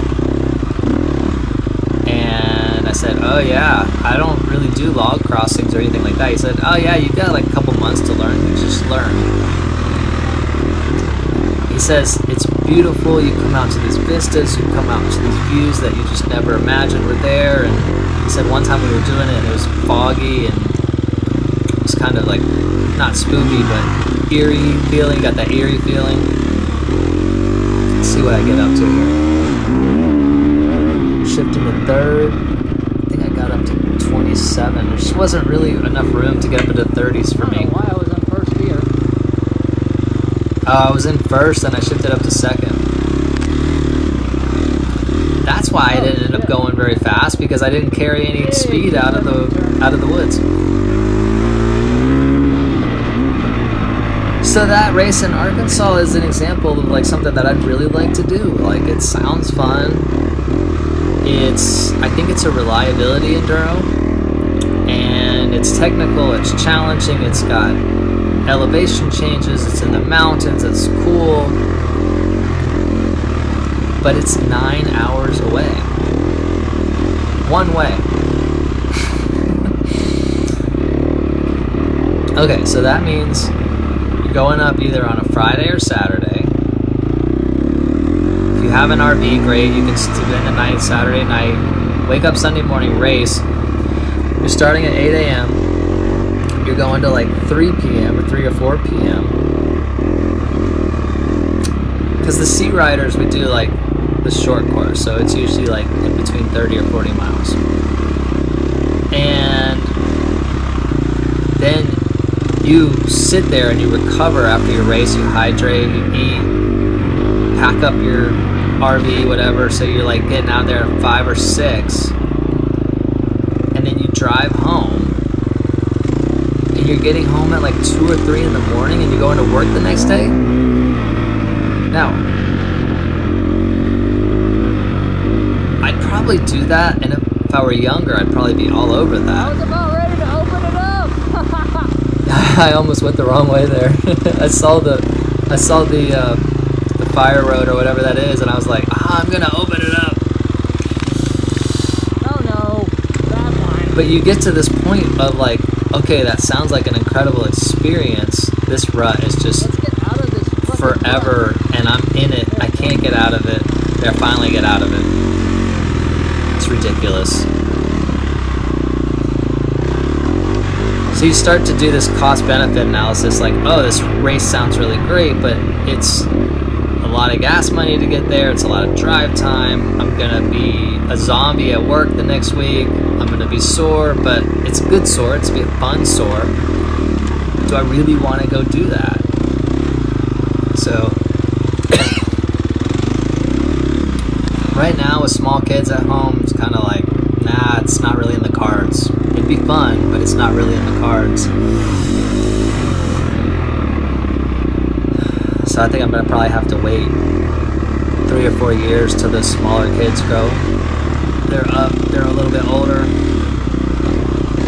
But so there's that one. There's the Raging Cajun race in Louisiana, which is a hundred mile race, and And even though the C Riders don't ride 100 miles or they don't race 100 miles, they still encourage you to like ride the full 100 miles, like I guess through the transfer sections or something like that. I'm totally about to stall here, just bushwhacking around these ruts. Not easy. Oh shit. There's Burrow Enduro in Colorado, which is um, like a co-sanctioned enduro with Rocky Mountain Enduro Circuit. I don't think they did that last year. It's like they could get the permit from the Forest Service. I don't know if it's on this year or not. Uh, they did one in Cloudcroft, New Mexico. There's two of them. There's one in Lubbock, and there's a couple in. There's one in East Texas in Gilmer. It's oh. Barnwell Mountain. That one looks fun. And there's a couple in Blackwell, Texas. I think there's one reliability and there's one sprint. So they're all over the place. And they actually took this series and they split it into three series this year. Yeah, you could see that happening. I was just turning too tight. Now my foot peg is stuck on the tree. Fucking stuck on this tree. I don't know why I killed the engine. I should have just pulled the clutch in and pushed it. Alright. So now we're unstuck, but here comes a rider behind us. So there's eight races in the part that's for Central Texas. And then there's like a championship one, which has a couple two-day races in it. So I hear him. I'm like, oh, let me just take a water while he passes me. Water break. This guy actually races in TORCS, which is the hare scramble series we're in, and he's in my class.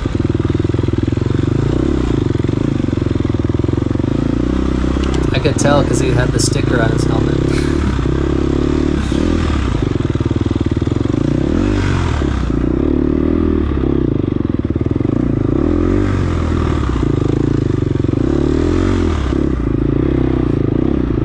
So I know that was a long story about enduros and hare scrambles, but yeah, I think at least for the next couple of years, um, I can do this sprint enduro, which is in February in our area, but other than that, it's going to be tough to get to any of the other ones.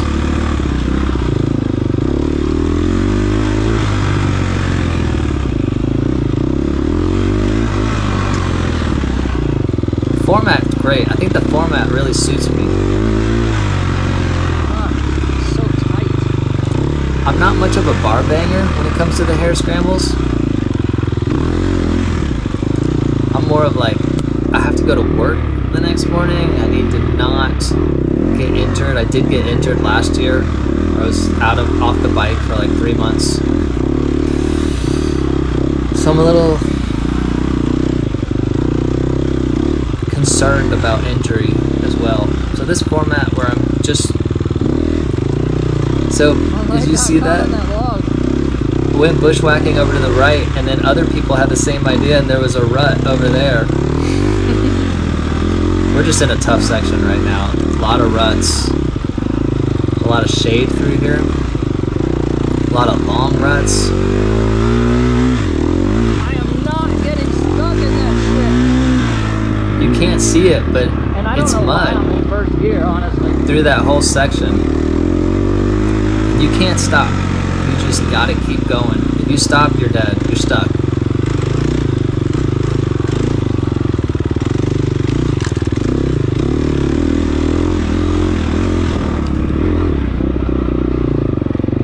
I think I'm doing pretty well in this section. Went in a couple ruts, I've avoided a lot of them. These little up and downs are fun.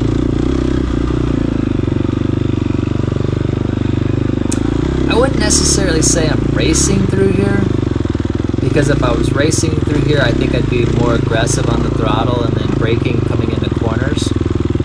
But I'm also not trail riding it either. I think I'm trying to find a flow or a rhythm where I can not necessarily maintain a constant speed, but maintain a smoother speed. Which is not necessarily the fastest way to get from point A to point B. But it is a fun way to get there, and I know I'm not going to be on the podium. Conditions. Look at that guy. He's duck paddling through that rut. The conditions kind of make it to where you're like, I, I just don't want to ride as fast as I can through here because if I do that, I'm probably going to get hurt. And I'm having a lot of fun riding this way, or riding this course. It's a lot of fun, and I oh, even say it on the video like how much fun I'm having. And it's not easy. It's challenging. but it, I sure did have a blast. I just came out, I came off of this test and off of this day just having so, so much fun and just thinking to myself, wow, that was a lot of fun. Got stuck in that rut, but once you get in the rut, you gotta stay on the throttle. Let off the throttle or chop the, watch what happens right here. You saw that root, right? If anybody's gonna get stuck on that root, it's gonna be this guy right here. so I know I can't just power over that root. I gotta, I was trying to rock the bike back just to get at least six inches of momentum so I could pop that back tire up off of the roof. Finally, I was able to rock the bike back far enough to be able to get a, a little bit of a run up on it.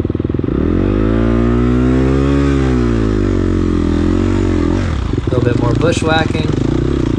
Woo! It's fucking exhausting. It's exhausting. That's what I said. It is exhausting.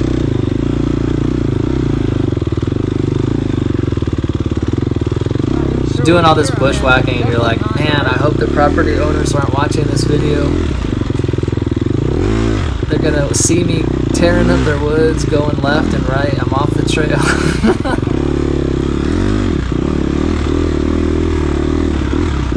it's really hard with the shadows to see the texture of the dirt here, but when you see these deep ruts, it's mud. Like right through here. Is all mud. So you want to try to avoid going through there. Alright. One of these two guys is out of commission. okay? Yeah, hey, can, if you tell them we need a tow back if you, if you can. Gotcha. What number? I'll just tell them you need a tow. 82A. 82A? Yeah. What? So his buddy's bike was broke and he needs a tow out. I don't know how they're gonna tow him out of here. Like I see the surface roads, but how are they gonna find him? Anyway, you'll see up at the end. I tell them 82B is stuck and needs a tow. off the section. I don't know how they're gonna get there though.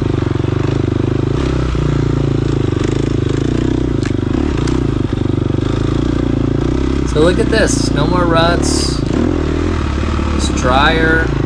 Got a little banking. You can get some lean angle on. This is a lot more fun to ride on. And now we've got the whoops and I'm slowing down again. Still standing strong though. Last year I did not stand at all. I was not a stand-up rider. I was so sore. My rear just I don't know how to describe it. It was like it wasn't like painful, like staying painful, but it was sore. All those bumps, all those whoops, just we didn't have the ruts like this last year, but I was sore. And after the end of the last test last year, talking to a couple of guys, some guy, some, he's like in his 60s or 70s, he comes up and he's like, I'm not sore at all. He's like, I just stood up the whole time. Like, that is genius. How do they expect us to race in this? Like what? So, over the Like, it's a course of the last year, I have been forcing myself to stand and to learn standing riding technique. One of the best videos I've ever seen was a Chris Birch video. He's the New Zealand guy. Um, his website is Say No to Slow, and Oh shit. oh, Chris, you're an embarrassment to all C riders everywhere. oh, Chris, Chris, Chris, Chris. So he has a great video on standing technique, weighting the outside peg, shifting your weight, turning your hips, so your your rear is over the outside peg it like shifts outside the bike frame your knee presses into the shroud of the bike. And it's got a, like a good way to teach that and for some drills for you to do. So i've been working on that and it's great because when you weight the outside peg like that the inside foot you can dab with freely if you need to but you don't feel all of those bumps that you're going over, like the roots, the whoops, The Bike will get up and go if you tell it to. all that feedback that you're getting from the bike. You don't, it doesn't hit you like it does when you're sitting. So you can do 40 miles like I did, or 60 miles like the A riders Can't did. tell it to in these tight woods though. You come come away and you're like tired.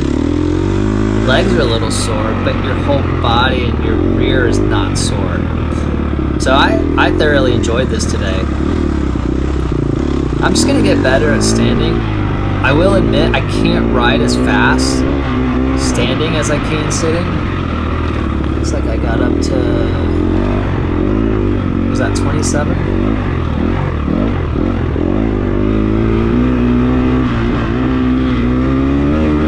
But like standing over these bumps and these small whoops is fine. Like your bike just absorbs them all.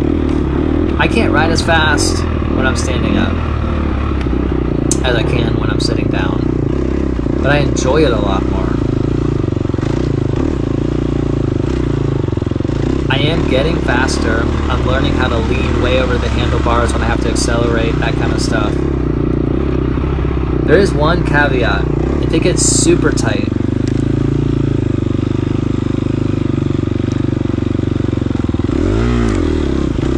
like a 180 turn, or you you have two trees that are like close together, and you have to turn into the trees or in between them in in, in the middle of a turn.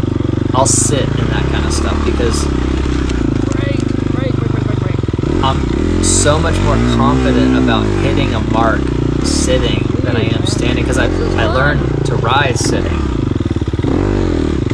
It's holy hell difficult, I don't know if you heard that, but I just said it's fun. but it's It's holy hell difficult, but it's fun. No one said it was supposed to be easy.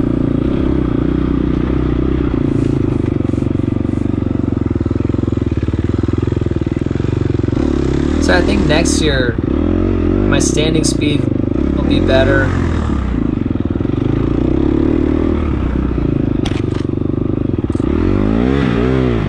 This barbed wire was like I was like, oh I don't want any part of that. I think I'll be I'm gonna this year, this next year until 2025 Sandwinder Enduro, I'm gonna practice standing flow, like being able to flow, standing up better. Um, I don't, I don't think it's the right thing to do is stand all the time. I mean, definitely want to sit, like coming out of the corners and accelerating and stuff like that. But I need to get better in both flowy woods standing and tight wood section standing. I need to get better at both of those. I need to get it to where my speed is more equitable sitting speed.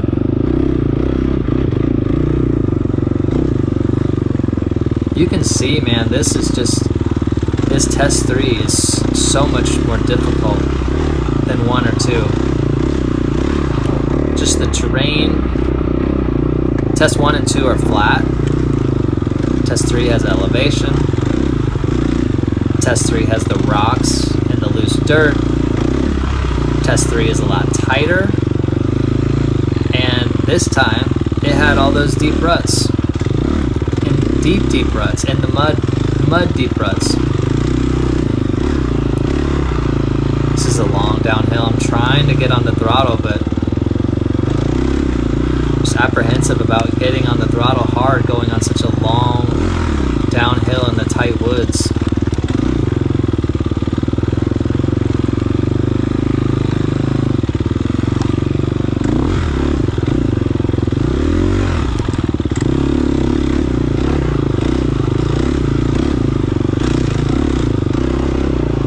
I need to get back up to CTOR, which is Central Texas off-road, which is a lot of tight riding with rocks and roots, and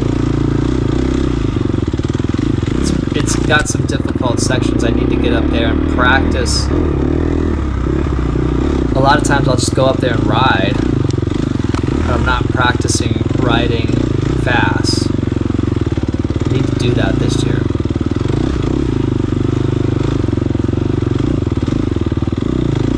I'm about to stall again.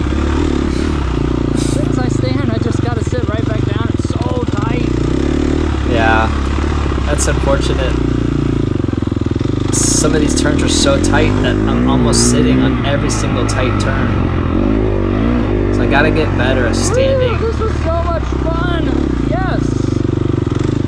standing in the super tight stuff.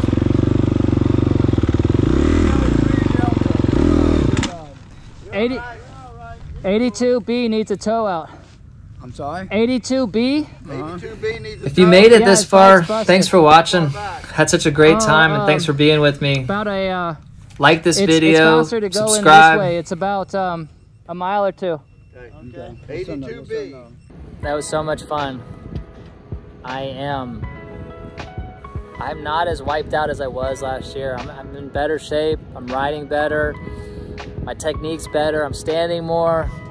Uh, last year, at every single one of those bumps, just jolted right up through my body, and at the end, I was just done. But today, I feel like, you know, it's the end of a normal hare scramble race where I could probably ride more. Uh, I'm not saying I'm gonna go ride the whole thing again, but feel great. Definitely was blipping a lot more than I wanted to. Just need to figure out how to roll onto that throttle in tight wood sections safely. That's what it comes down to.